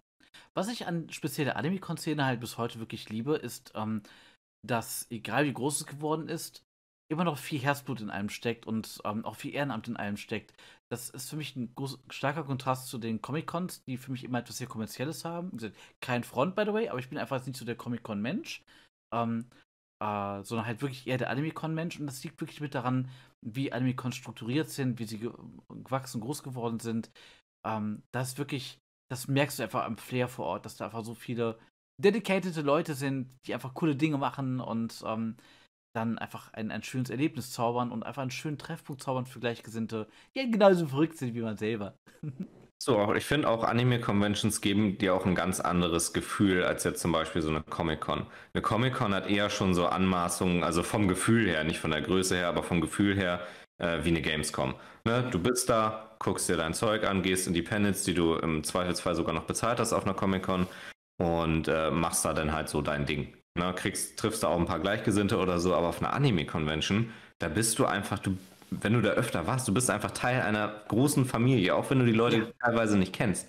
Du weißt, du kannst jeden ansprechen, du kannst mit jedem irgendwie über sein Favorite Anime und so weiter reden oder Manga, was auch immer am Stand. Du kannst mich fragen, ach cool, guck mal, du hast das hier gerade in der Hand, hast du den ersten Manga davon schon gelesen, ist das gut? Und so weiter. Kannst immer ein Gespräch anfangen, immer sehr schöne Situationen, auch beim Essen oder so. Und du hast einfach, du brichst einfach mal auch aus diesem Alltag aus, dieses so, ich guck runter, bin nur mit meinem Zeug beschäftigt, äh, hab noch Ohrstöpsel drin, laber mich bloß nicht an. Du bist ja. da einfach in einer großen, liebenden, netten, schönen Familie. Ja, absolut. Und ich sag mal, wenn man es auf die, auf die Spitze treibt, dann sieht man sich sowas wie ja Japan-Tag an, wo quasi ein Open Air oder Open, also Open Air Outdoor Festival quasi ist, entlang der gesamten Rheinpromenade der Düsseldorfer Altstadt, ähm, wo halt auch dieses Fair wirklich in die Stadt transportiert wird. Und da merkst du halt, dass eine Million Cosplayer da rumlaufen und äh, ähm, einfach Anime-Manga-Fans. Merkst, dass es da relativ friedlich ist. Also, ja, natürlich jetzt nicht so in einer äh, Safe Space wie in einer, in einer Convention, wo du wirklich in einem geschützten Raum bist. dass halt auch eben normale Leute da quasi rumlaufen. Äh, oder auch vielleicht immer betrunkene Leute oder sonst irgendwas. Das ist halt auf einer Con meistens doch eher anders.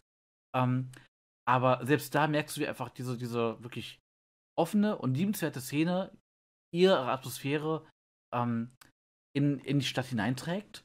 Und das wird auch wirklich mittlerweile von den höchsten Stellen aus eben äh, wertgeschätzt. Also sei es vom Oberbürgermeister, sei es äh, vom Fernsehen, WDR und uns, was die darüber berichten.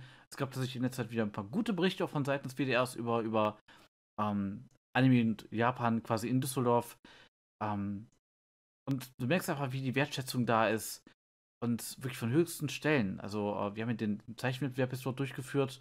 Mhm. Und ähm, ich kann sagen, also, das war für mich auch ein, ein sehr emotionaler Moment jetzt am gestrigen Tag.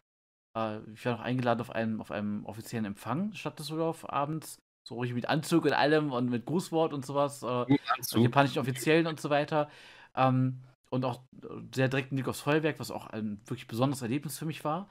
Ähm, aber auch da hat der Oberbürgermeister quasi ähm, ja, sich bedankt, gelobt, sowohl, dass es die Doku mir gibt, aber eben auch, äh, dass es so Sachen wie den Manga-Wettbewerb äh, dort gibt und also ein direktes Lob vom ne, äh, quasi wichtigsten ähm, Menschen im Amt äh, der Stadt Düsseldorf.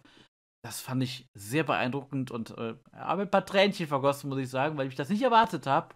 Und diese Wertschätzung wurde über viele Jahre erarbeitet. Und äh, jetzt nicht nur für die Dokumi oder nur für den Japan-Tag, sondern wirklich, das hat sich diese Szene erarbeitet, weil jeder, der dort irgendwie arbeitet oder das irgendwie mal mitbekommen hat, weiß, okay, jo, eine Gamescom ist ein bisschen anstrengender oder ein Rockfestival ist äh, rabiater. Ähm, aber die Anime-Cons, oh, die Leute sind so entspannt, die sind so liebenswert. Ähm, also, ich hoffe, dass es auch noch lange so erhalten bleibt. Aber definitiv ist das etwas, was sie auszeichnet und ähm, was man diesen Fans wirklich zugutehalten muss, ähm, was man uns zugutehalten kann. Ähm, ja, denn das hier gleich mal so ein Schild aufhängen, Dauerwerbesendung. ja, also wirklich für, für, also Dauerwerbesendung für diese Community, weil ähm, das einfach äh, was Besonderes ist. Ah, nein, ich stimme dir, ich stimme dir da vollkommen zu. Also es ist einfach genial, wie groß das jetzt geworden ist. Du hast es vorhin so was spaßeshalber gesagt, so mit einer Million Cosplayer auf dem Japan-Tag. Das klingt so absurd, aber es ist ja wirklich, es sind glaube ich 700.000 oder so da immer, die da auflaufen. Nicht nur ja. Cosplayer, sondern alle Besucher. Aber das ist schon, das ist schon enorm. Das ist, glaube ich, auch so, so Maximum Capacity von der Rheinpromenade. Danach ja, ist irgendwo Schluss, voll. weil ja. die ist voll. Die ist ganz voll. Man muss wissen, wenn man sich da irgendwie versucht zu verabreden. Also man muss wirklich wissen, wo man sich verabredet. Denn auch sowas wie, hey, lass uns an der Brücke treffen, das reicht nicht. Es Nein. gibt mehrere Brücken. Es gibt zwei und du bist immer an der falschen. Es ist immer die falsche. ich glaube, du hast schon Erfahrung damit gemacht, oder? Ja, ja, mehrfach auch. Aber das Schöne ist auch, wenn du da so Leute in deiner Gruppe hast, die, du hast da dann halt durch 700.000 Leute auch keinen guten Handyempfang. Ne? Das heißt, du bist froh, wenn überhaupt mal eine Nachricht durchgeht. Und dann kriegst du so kryptische Mitteilungen und denkst dir so, oh nee, komm, jetzt muss ich wieder dreimal nachfragen. Schick doch einfach ein verdammtes Bild, wo du bist. Nein, es wird rumdiskutiert. Ach, ich kann doch dahin, ich kann auch hier, ich kann auch da. Und du bist schon dreimal um den ganzen Japan-Tag quasi gegangen und hast es immer noch nicht gefunden. Also wild. Das macht ihr am besten vorher. Und wenn ihr auf den Japan-Tag geht, sehr, also kann ich echt empfehlen, auch das Feuerwerk, was Fiski gerade erwähnt hat, das ist richtig gut gemacht, richtig schön. Hm. Wenn ihr hingeht und wenn ihr länger da seid, japanisch essen gehen und so weiter in der Stadt, macht das wirklich vorher oder nachher, weil es ist am Japan-Tag echt heftig. Es ist echt voll, wie ihr euch vorstellen könnt. Aber geht auf jeden Fall trotzdem mal durch die Straße, also Little Tokyo, nicht nur da an der Rheinpromenade. Denn in diesem Little Tokyo machen die Läden auch immer noch so ein bisschen was. Ich weiß nicht, ob dieses Jahr auch so war, aber sonst war es ja immer so, dass sie sich da rausgestellt haben und dann noch irgendwie ähm, Okonomiyaki gegrillt haben oder diese, ähm, diese kleinen Fische, wie heißen die nochmal? Tayaki. Taiyaki, oh ja, ich liebe die, ich liebe die so sehr. Auch dieser neue Laden, der jetzt diese Taiyaki mit ähm, rote Bohnenpaste und Matcha-Eis und oh, wo kann ich mich reinlegen? Gott sei Dank, wo ich dafür jeden Tag essen. genau, nee, aber Japan-Tag auf jeden Fall auch von mir.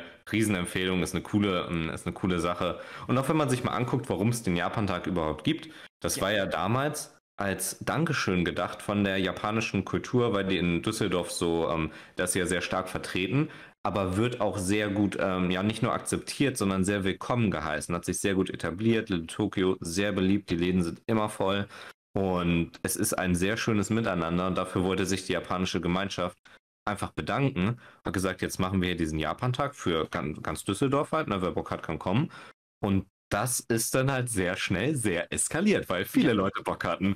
ja. Allein schon wegen dem Feuerwerk. Ich meine, wenn man irgendwie rein Flammen oder sich so oder ne, Kölner Lichter oder, oder ein Hamburger äh, Feuerwerk anschaut, das, das ist einfach ein, ein Besuchermagnet ohnesgleichen. Ähm, aber ja, dann hat sich dieses ganze Programm drumherum entwickelt und das ist einfach ein tolles Erlebnis. Äh, sind halt auch super, was Feuerwerk angeht. Ne? Ich weiß, hier in ähm, Hamburg gab es auch das äh, Kirschblütenfest, ist aber relativ klein, aber das Feuerwerk ist immer recht groß. Das wird dann mhm. auffahren, ist auch so ein kleines japanisches äh, Volksfest hier, aber wirklich klein. Ähm, da gibt es dann auch ein Feuerwerk, auch von Japanern gemacht. Und ich weiß auch für, ähm, für Schiffe wird hier auch Feuerwerk gemacht. Also wenn Schiffe im Hafen eingeweiht werden, ähm, beispielsweise letztens bei der, ähm, bei einer AIDA noch gesehen, die machen meistens auch dann noch Lichtshow und ein Riesenfeuerwerk und die sind meistens sogar auch von äh, japanischen Feuerwerksmeistern äh, inszeniert.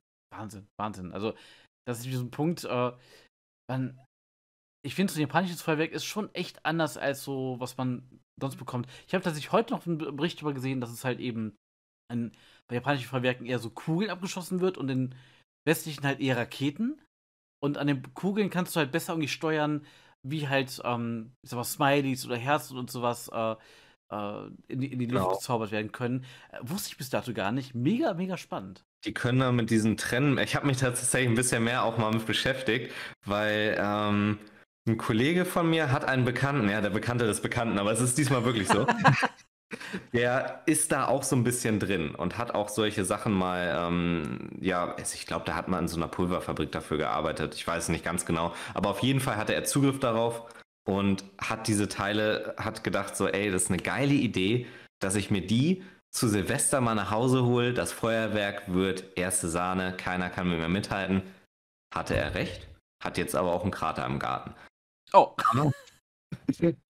Aber von dem weiß ich halt, beziehungsweise von den Geschichten dazu, dass die Kugeln, du kannst da wohl besser mit Trennmitteln arbeiten und die chemische Zusammensetzung besser voneinander trennen, weil das sind ja im, im Prinzip so Magnesium, Calcium und so weiter, was da ja diese Farben verursacht. Ähm, und das kannst du da besser voneinander trennen, dass du diese, ähm, diese Muster auch irgendwie machen kannst. Wie genau das funktioniert, gut, da bin ich raus. Chemie war nie mein Fach. Aber ich finde es ich super spannend, aber irgendwie bin ich nie reingekommen. Wann gibt es endlich Feuerwerke auf Conventions? ja, die. Ne? Was hätte ich auch? Naja, Flughafen und der, bei der Dokumi ist wirklich das Problem, dass Flughafen in der Nähe ist und deswegen dort ein, ein Feuerwerk leider schwierig ist. Ja, den können wir ja irgendwie mal bestreiken lassen oder schließen. ich glaube, da sind ganz schön viele Leute sauer auf uns. Ja, ja, ja. Mein Vorschlag mache ich jetzt lieber auch nicht, da wäre, glaube ich, ein bisschen sehr illegal. War halt den Drogenflug für mich. Ja, Flughafen wahrscheinlich. Nee, aber so Nordpark zählt dann wahrscheinlich auch noch damit rein, ne? Ja. Ja, ja. Naja, schwierig. Das ist ein Punkt. Äh, Dokumi Nordpark oder generell ähm, Außengelände von Conventions bei Animagic war es früher in Bonn die, die Rheinwiese oder in, auch jetzt ist doch der, der äh, Wasserturm quasi in Mannheim. Ich finde tatsächlich, dass so ein Außengelände für eine Kunden unheimlich wichtig ist. Ähm, für uns war von Anfang an immer klar, dass quasi Leute, die halt auch ohne Ticket kommen, Teil der Con sind oder dazugehören oder nicht irgendwie. Ähm, es gab immer diesen etwas despektierlichen Begriff Con-Gammler oder so, die, die quasi nur kommen, dann irgendwie vor der Con rumgammeln oder so. Aber ähm, den, den, das finde ich tatsächlich. Also, ich finde das nichts Schlimmes, sondern es gehört einfach zur Con dazu. Das sollte auch einfach draußen chillen oder ähm, dann im, im, Park chillen oder auf den Wiesen davor chillen, sich dann treffen, zwanglos. Es bringt ja unheimlich viel fürs Gesamtflair. Ne? Ähm, finde, das ist enorm, also es ist richtig und wichtig, auf jeden Fall, dass es irgendwie dieses Außengelände gibt. Auch wie du schon gesagt hast, für diese, ich nenne sie jetzt mal nicht Kongammler, sondern für Leute, die einfach da sein wollen, aber jetzt nicht unbedingt ne, den Anspruch haben, reinzugehen. Es ist einfach gut, das zu haben, weil dadurch kriegen auch nochmal andere Leute, die jetzt zum Beispiel vielleicht zufällig dran vorbeigehen, äh, kriegen das nochmal mit, können sich da trotzdem treffen. Wer jetzt nicht auf die Con selber will, sondern sich einfach das nutzt, um Leute zu treffen, das kann man dann da machen, ohne Ticket. Und auch, was ich von mir auch gemerkt habe als Cosplayer, du gehst auch über dieses Außengelände, weil erstmal schöne Szenerie in der Regel, also Rosengarten in Mannheim mit dem Wasserturm, äh, Dokumi natürlich mit dem Nordpark, ist ja auch wunderschön. Ähm, oder auch bei der, bei der Konichi, da hast du ja auch so einen, so einen Waldpark, würde ich jetzt mal sagen. Der ist eher bodenständig, der, der Waldpark. Ähm, aber trotzdem cool, dass es da ist, weil es nochmal so Szenerie ist. Du bist eh im Cosplay, kannst noch vielleicht ein kleines Shooting oder so machen, kannst draußen nochmal Leute treffen, Leute bei Shootings beobachten oder so. Ne, du kriegst einfach viel mehr Eindrücke, dadurch, dass nochmal dieses, äh, dieser Außenbereich da ist und hast natürlich dann auch nochmal einen Ort, wo du, ich sag jetzt mal, durchatmen kannst. Du bist nicht Ja. mitten im Gewusel, kannst mal rauskommen, kannst dich mit deinen Leuten hinchillen, vielleicht dein, was weiß ich, Reisbällchen, was du auf der Con gekauft hast, äh, essen. Irgendwie so. Picknicken. ne? Bitte? Ja. Ein bisschen picknicken quasi. Ja, das muss ich ja auch noch hervorheben, dass ich bei der ähm, Doku mir immer sehr gefühlt habe, ist das, äh, das Essen, weil das ist somit die einzige, also es ist nicht die einzige, aber es ist wirklich die Con, die wirklich sehr viel Wert auf das Essen und auf die Authentizität, Authentizität dieses Wort, Mhm. Authentizität, jetzt sage ich es nochmal, des Essens legt. Man hat immer eine große Auswahl an wirklich ähm, Sachen, die auch dazu passen. Ne? Rahmen gibt's, äh, diese Crepes gibt's, glaube also gab's glaube ich letztes Jahr nicht, aber sonst immer diese japanischen Crepes und so Mhm. weiter. Und auf vielen Cons hast du leider dieses Jahr, hier ist Standard Catering, hier kannst du dein Thai Curry kaufen. Ich denke mir so, okay, ich dachte, das ist eine Manga- und Anime-Con, warum Thai Curry? Da gibt es übrigens einen Grund für. Äh, denn meistens haben Hotels, Kongress Kongresscenter oder besten eben Exklusiv-Caterer, über die das alles laufen muss, weil Mhm. fairerweise ähm, Catering ist eigentlich das, wo auf einer Convention oder auf jedem Event eigentlich am meisten mit Umsatz gemacht wird. Jetzt mal vielleicht vom Ticket oder so abgesehen, aber so essen muss jeder auf einer Con. Und wenn du halt zigtausend Leute hast, die alle essen wollen, Um dieses 12 Euro für Umsatzpotenzial. den Reis mit ein bisschen Genau. Curry Und bezahlen. deswegen ist die Organisation von, von Essensständen, so externen Essensständen, ultra schwierig. Ähm, du musst halt die Caterer halt überzeugen oder halt dann mit Konzepten vorlegen oder, oder Korkgeld za- bezahlen oder sowas. Das ist aber echt kompliziert. Wir haben auch lange, lange dran bohren müssen. Mittlerweile läuft die Kooperation aber sehr, sehr gut. Ähm, wir haben eher das Problem gehabt, dass wir quasi ähm, gar nicht hinterhergekommen sind mit dem Wachstum der Veranstaltung, was die, dass die Essensstände einfach anzupassen, dass wir genug haben.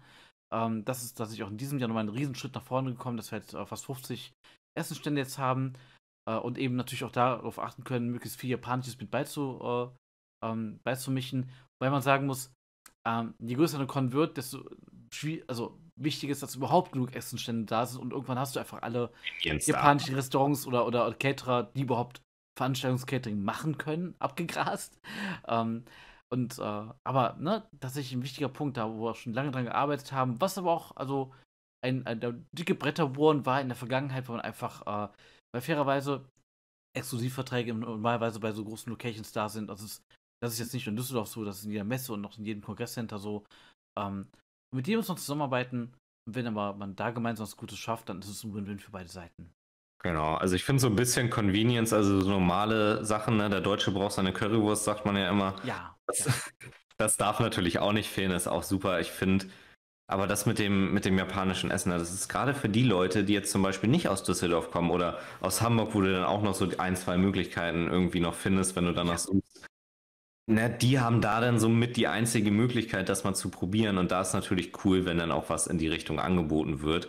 Das aus, wie du gerade gesagt hast, zu gutem Grund vermisst man das bei einigen Conventions. Ist natürlich trotzdem schade, auch wenn die Convention dann im Zweifelsfall nicht mal was dafür kann. ja, das ist mir wirklich me Ja. meistens der Fall, tatsächlich. Ja, ja, es soll, es soll auch jetzt kein, kein äh, Hate oder so auf andere Conventions sein. Ich honore jede Convention, die uns hier irgendwie ähm, bereitgestellt wird und einen Punkt bietet, wo man sich halt treffen kann, austauschen kann und sein, ähm, ja, sein Hobby zum, ja, in die Realität überführen kann, ausleben kann, wie auch immer. Das äh, größten Respekt vor. Aber gut, gerade das mit dem Essen, ne? Es wäre natürlich cool, aber klar, manchmal hat man einfach nicht die Möglichkeit. Ist ja Genau. wie so oft so. Was übrigens zwei Sachen dazu. Ähm, Was ich mal wichtig finde, ist, dass aber trotzdem natürlich das Mitbringen von, von Eigengetränken erlaubt sein muss, ähm, weil ähm, hydriert sein, genug Essen und sowas, auch ein ganz großer äh, Shoutout an alle Convention-Gänger da draußen. Ähm, bitte, bitte, bitte ähm, äh, esst und trinkt genug. Ist ganz, ganz, ganz wichtig. Ähm, Jetzt heute bei mir auf der Animagic, wo der Hitzerekord gebrochen wurde in Mannheim, Ja. irgendwie 40, oder 41,1 Grad oder so. Und ich mhm, war in meinem äh, 9S-Cosplay aus Nier Automata, also komplett einmal in Vlies eingepackt. Und, nee, in Samtstoff, äh, komplett einmal in dicken Samtstoff eingepackt. Geh raus aus dem klimatisierten Convention-Gebäude, schön in den Rosengarten zum Shooting und merke erstmal so, ui, okay, irgendwie sollte mir jetzt nicht schwarz vor Augen werden. oh nein! Oh, schlecht. Dann erstmal, ne? weil das war tatsächlich auch noch so eine Convention, die lange daran festgehalten hat, war da tatsächlich auch den Caterer geschuldet, keine mitgebrachten Getränke. Es wurde Ja. auch teilweise durchsucht. Da sind sie jetzt aber, soweit ich weiß, von weg. Du darfst wohl Genau, Wasser genau. mitbringen und kriegst da, die haben an dem Tag tatsächlich auch Wasser ausgegeben und sowas. Ne? Also die haben selber wirklich viel dafür getan, dass es besser wurde. Genau, und das, das halt ein Sicherheitsrisiko auch ist. Und äh, da muss man halt meistens die Caterer ein bisschen äh, educaten drüber, weil äh, klar, die wollen Umsatz machen, aber die machen ihren Umsatz ja. Also um Gottes Willen, wenn da so viele, wenn da 10.000 Leute am Tag kommen oder so, die machen ihren Umsatz, aber es ist wirklich wichtig, dass die Besucher auch selbst was mitbringen können, um halt hydriert zu bleiben. Denn klar, das, das Trinken auch vor uns ist meistens etwas teurer. Ähm, das ist auch, also, das ist halt so, okay. Aber ähm, das egal vom, also es sollte nicht vom Geldbeutel abhängen, ob jemand äh, gesund die Konten übersteht und ne, genug trinken kann, gerade wenn er warme Brücke trägt und so weiter. Aber ich glaube, es haben mittlerweile auch eigentlich fast alle Caterer auf den gängigen Conventions, die ich kenne, verstanden. Ähm, aber wie gesagt, wenn das mal nicht der Fall war, dann äh, liegt das wirklich, wirklich, wirklich in aller Regel nicht an der Convention, sondern eben an den Begebenheiten, an denen sie sich orientieren mussten. Ähm, und was ich dort, den zweiten Punkt noch ganz gern äh, darauf hinweisen möchte, was ich unheimlich schätze, ist, dass tatsächlich die Anime-Cons untereinander alle sich gut verstehen, dass die Orgas untereinander in der Regel befreundet sind und es wirklich ein Miteinander ist. Das ist ja im Event-Business auch nicht überall so, wo vielleicht viel Konkurrenzdenken herrscht. Ja. Ähm, das ist aber im Anime-Cons nicht der Fall. Äh, höchstens vielleicht ein, dass jeder versucht, die bestmögliche Con zu machen was ja auch vollkommen okay ist. Ja, ähm, aber es gibt ein, vor allen Dingen ein Miteinander. Viele Helfer sind in mehreren Cons äh, am Helfen, viele Orgas sind sogar in, in mehreren Cons am Wuseln. Also, ähm, das ist wirklich ein tolles Miteinander, szenenübergreifend. Und das, das weiß ich wirklich sehr zu schätzen. Ja, finde ich ein, ein sehr gutes Wort zum Sonntag. Nee, aber man merkt es ja auch daran, wie wir jetzt hier über die Conventions äh, sprechen. Ne? Wir sind ja beide in Dokumi äh, verstrickt, du viel, viel mehr als ich, das ist ganz klar. Äh, ganz logisch. Ähm, aber wir können hier ganz offen auch über andere Conventions reden und sagen, dass wir die toll finden. Also, das muss man ja auch erstmal ne, so erreichen, diesen Punkt. Beziehungsweise, die Anime-Conventions haben diesen Punkt, glaube ich, nie verlassen. Aber viele andere Conventions, leider, leider, oder auch Veranstaltungen, ja. das ist dann natürlich immer sehr schade, wo dann um Ehrengäste gebuhlt wird oder um irgendwelche Bands, die kommen. Und das ist dann ja. äh, schwierig. Hier ist, hier ist sogar so, dass sich quasi man eher darauf achtet, dass man halt eben schaut, also dass tatsächlich die Ehrengäste, die schon mal irgendwie da waren, wiedergeholt werden oder ähm, dass das eben unterschiedliche, dass man unterschiedliche Schwerpunkte hat und sowas. Also, dass sich die Szene eher ergänzt, anstatt irgendwie, weiß ich, immer dasselbe nur zu sehen ist. Ähm, ich finde das wirklich, äh, das müssen wir uns unbedingt erhalten, finde ich. Ähm, ja, und das, weil im Endeffekt gewinnen dadurch die Besucher und äh, Convention-Gegner auch am meisten, weil sie einfach schön ja, immer was Neues sehen können, immer ähm, was Neues erleben können und ähm, die Convention-Szene auch damit ähm, attraktiv und spannend bleibt. Das tut ja eigentlich an allen gut. Ich merke das, ich habe das ja auch an mir gemerkt. Ne? Ich meine, meine erste, erste Convention war, glaube ich, die, also ziemlich sicher war es die Animagic. Es kann sein, dass ich schon mal irgendwie auf einer Doku mir rumgewuselt habe davor, aber dann auch eher so, weil ich es cool fand, aber nicht als Cosplayer dann aber erste Cosplayer-Convention war Animagic. Aber da kriegt man dann auch mit, wenn die schön ist, die Convention, dann guckst du dir auch die anderen an. Aber ja. wenn, die, wenn die shit ist, dann ist die Frage, okay, war es nur die eine? Guckst du dir jetzt noch andere an oder denkst du, okay, die sind jetzt alle irgendwie ein bisschen cringe, äh, brauche ich nicht oder so, ne? Mhm. Das, äh, deshalb finde ich das auch sehr wichtig, dass die Cons untereinander gut funktionieren, sich ein bisschen abstimmen, schauen, dass die Schwerpunkte ein bisschen anders gesetzt werden, aber dass man wirklich überall ein wirklich gutes, rundes und schönes Erlebnis haben kann.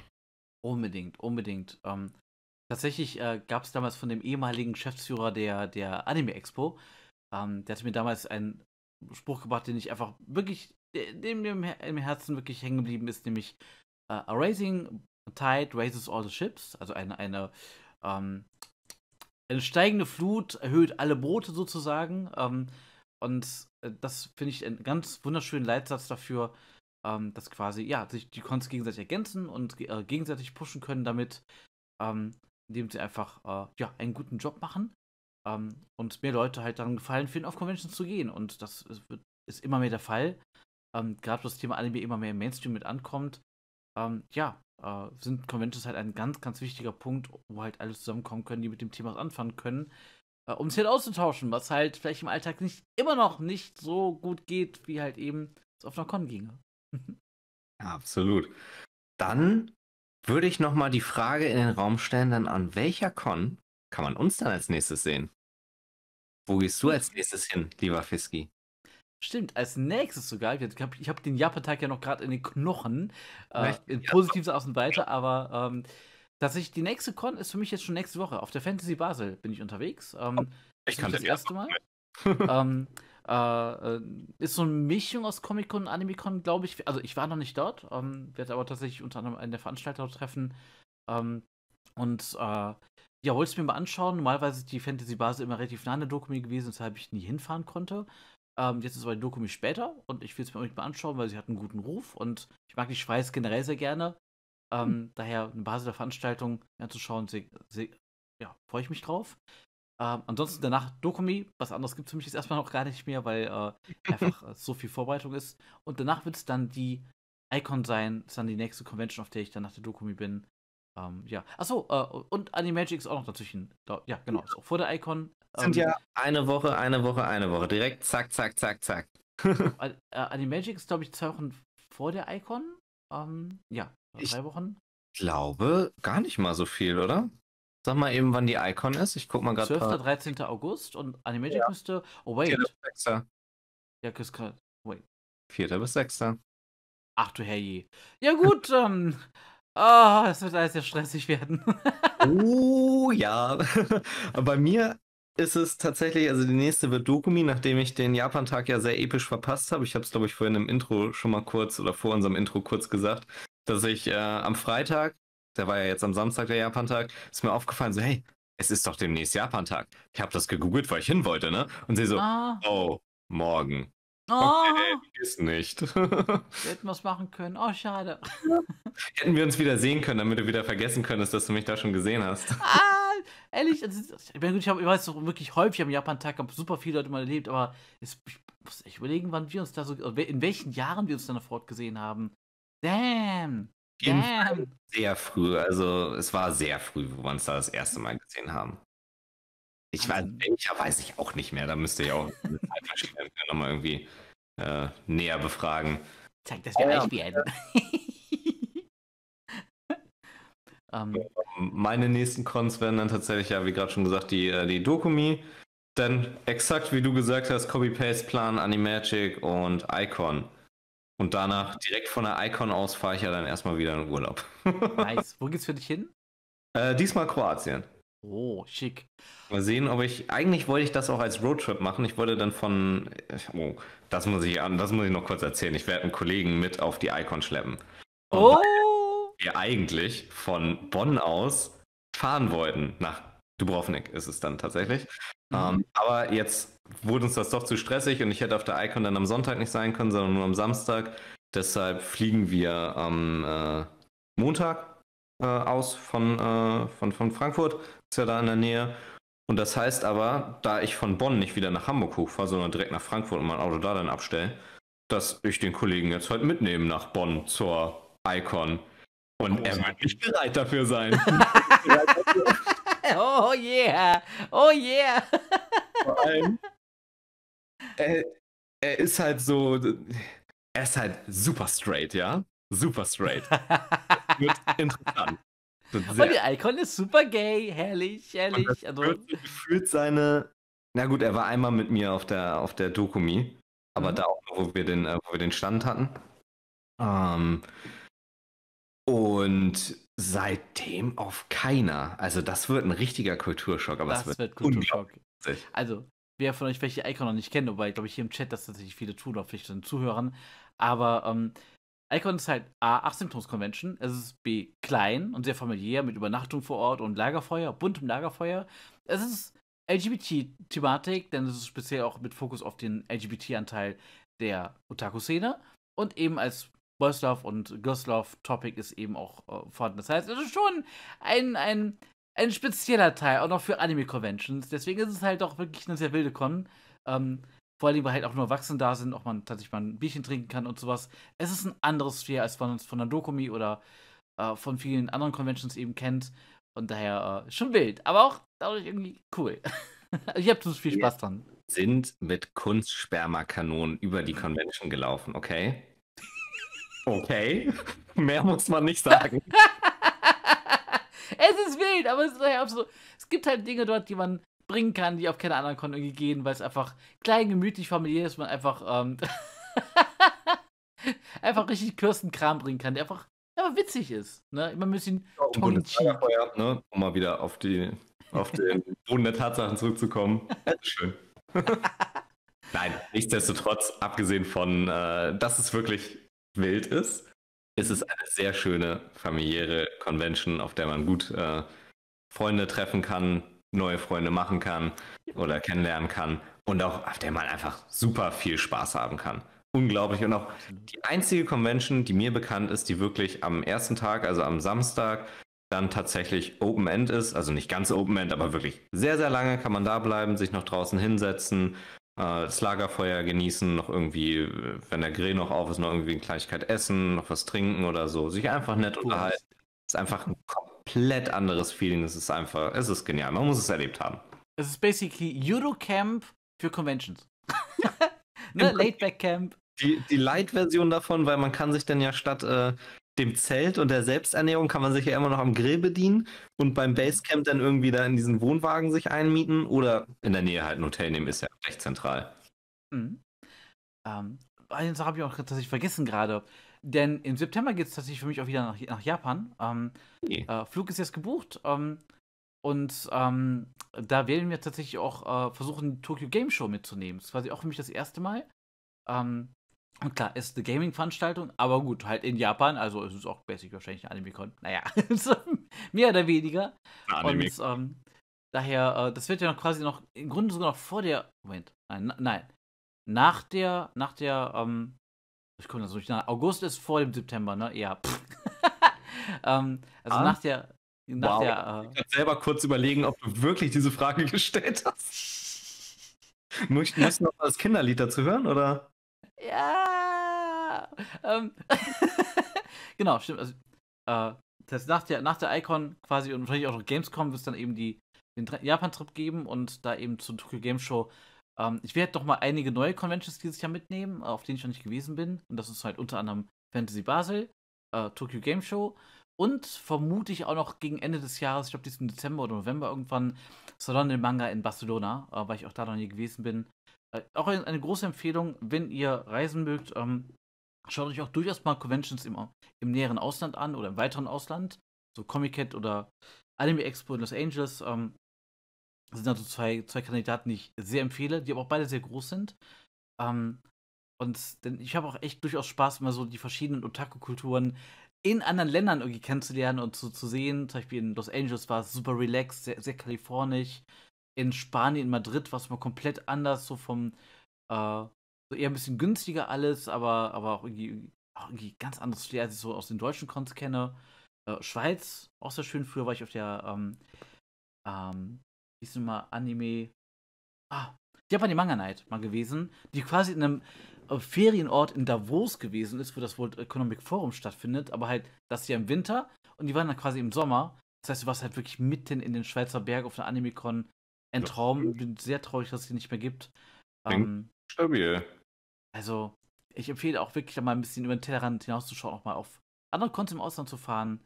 Ähm, das ist nämlich echt ein Erlebnis. Genau, Eine aus der Nähe können wir vielleicht noch nennen. War ich selber zwar noch nicht, habe ich aber sehr viel Cooles drüber gehört und will ich auch unbedingt mal hin. Ich glaube, du warst sogar schon da. Äh, Mhm. Japan Expo in Paris. Ja, Japan Expo Ja, ist quasi die größte in Europa. Los Angeles. Ähm, ich muss gestehen, dass ich nicht ganz so der größte Fan davon bin.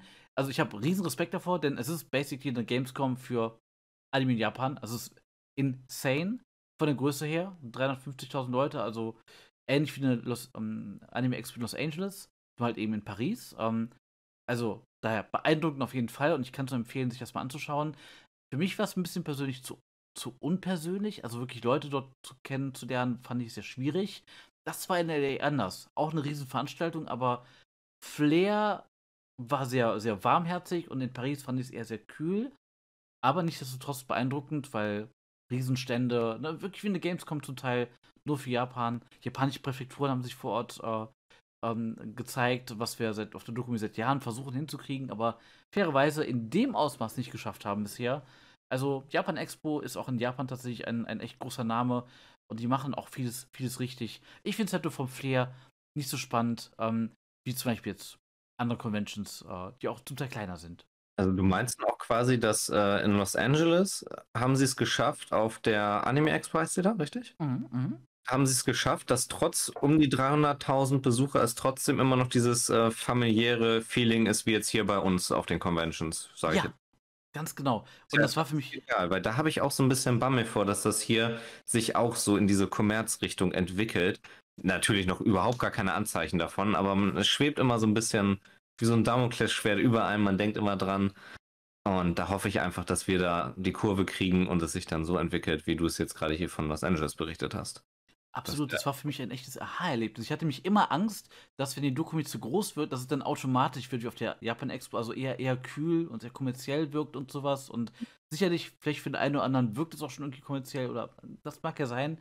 Aber ähm, es, äh, als ich dann in, glaube ich, 2016, 2017 dann zum ersten Mal auf der Anime Expo gewesen bin, war- dachte ich mir, wait, es, es ist dieselbe Größe wie die Japan Expo, aber dieses Flair ist trotzdem da dann schaffen wir das auch und haben dann halt auch einiges quasi rangesetzt, um das Flair schön zu halten. Deswegen nutzen wir zum Beispiel sehr viel Teppich auf den Veranstaltungen. Ähm, weil zum Beispiel auf, in LA wirklich die, fast der ganze Händlerraum ist, der ist riesig, also der ist wirklich gigantisch groß, komplett mit rotem Teppich versehen ist, was es sehr, sehr gemütlich gemacht hat. Während zum Beispiel in, in LA, äh, in, in Paris, wenig Teppich verwendet wurde und es hat dann die Hallen sehr, sehr kühl gemacht. Äh, ähm, war auf der Doku 2017 auch der Fall. Da hatten wir noch keinen Teppich genutzt. Die Hallen wirkten etwas trist, muss ich einfach zugeben. Und als wir einen Teppich genutzt haben, hat das einen riesen Unterschied gemacht. Ähm, ja, also. Äh, Der geht sicher stetig weiter, ne? Aber das mit dem Teppich klingt absolut logisch. Ich finde auch, dass der viel ausmacht. Der, der hebt quasi nochmal dieses, dieses Hallenfeeling wieder so ein bisschen auf, weil du, du vergisst dann teilweise wirklich, dass du in der Messehalle sozusagen bist. Nicht, dass da irgendwas Schlimmes, aber du fühlst dich dann doch mehr, ähm, ja, nicht zu Hause, aber mehr ne, im Bekanntenkreis, wie auch immer, als wenn du es fühlen würdest, äh, als wenn du dich, dieses Flughafen-Feeling, würde ich jetzt mal sagen, Genau. vermittelt sonst so eine Messehalle immer. Genau. Aber wie gesagt, ähm, möchte damit auch jetzt der, der, der, der äh, Japan Expo keinen Abbruch stellen. Es ist sehr beeindruckend und empfehle es mal, sich äh, angeschaut zu haben. Ähm, ja, also kann ich da nur empfehlen, mal äh, sein eigenes Bild zu machen. Ich werde mir die unter, unter der Fahne AAA irgendwann mal äh, nochmal anschauen und äh, meine Meinung dazu abgeben, wenn ich es mal schaffe. Die AAA Podcast World Tour. So nämlich. So Ah. nämlich. Starting now. Wow. großartig. Machen wir. Machen wir definitiv. Ja. Dann haben wir auf jeden Fall schon mal die nächsten Reisepläne ge ge äh, geplant. Ähm, und ich freue mich auch einfach, dass die Con-Saison wieder angefangen hat, denn hat jetzt spät gestartet mit der LBM, erst im April. Okay, es gab mit Sicherheit zwischendurch ein paar kleinere Conventions, aber so der, eigentlich hat traditionell die LBM halt, der Psychobuchmesse, die Convention Season immer so äh, wirklich äh, einberufen. Ähm, und äh, das ist jetzt dieses Jahr erst im April gewesen, weil die LBM später stattgefunden hat als sonst. Ähm, und jetzt geht's richtig los. Dann folgte dann kurz auf den Japan-Tag, dann kommt das Dokumi steht in Stadt durch und dann kommen wieder die ganzen Sommer-Conventions auf. Ob Berlin, ob, äh, ob äh, Erfurt oder, oder Hamburg und so. Also da kommt jetzt wieder richtig einiges auf und äh, ich bin super gespannt, wie sich das Convention ja entwickeln wird. Und seit der Dokumi kann ich sehen, die Leute haben wieder richtig Bock auf Cons. Äh, mehr als jemals zuvor. Ähm, 140.000 Leute erwarten wir dieses Jahr. Das ist einfach schon. Das ist undenkbar. Das ist wirklich undenkbar.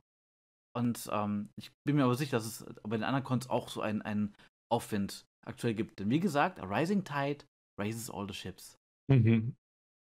Sehr schön. Ich würde sagen, mit diesem wunderschönen Zitat verabschieden wir uns auch für diese Folge. Es sei denn, wir haben noch eine Convention vergessen, die wir unbedingt noch erwähnen müssen.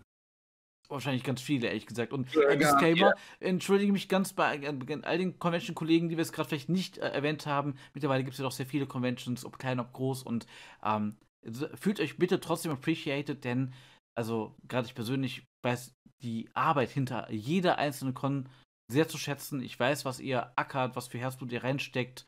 Ähm, auch vom lokalen Treffen bis hin zu einer Buchmesse oder Gamescom. Ähm, glaubt mir, hinter den Kulissen arbeiten Leute, äh, ob ehrenamtlich, ob hauptamtlich, die wirklich mit Herzblut dabei sind. Ähm, also und fühlt euch an der Stelle einfach mal hier von uns als AAA Podcast wirklich appreciated. Kann ich nur so unterstützen. Alles klar, dann vielen Dank fürs Zuhören, würde ich sagen. Und wir sehen uns in zwei Wochen wieder. zur nächsten Folge vom Ah. Triple A. Bis dann. Ciao. Ciao.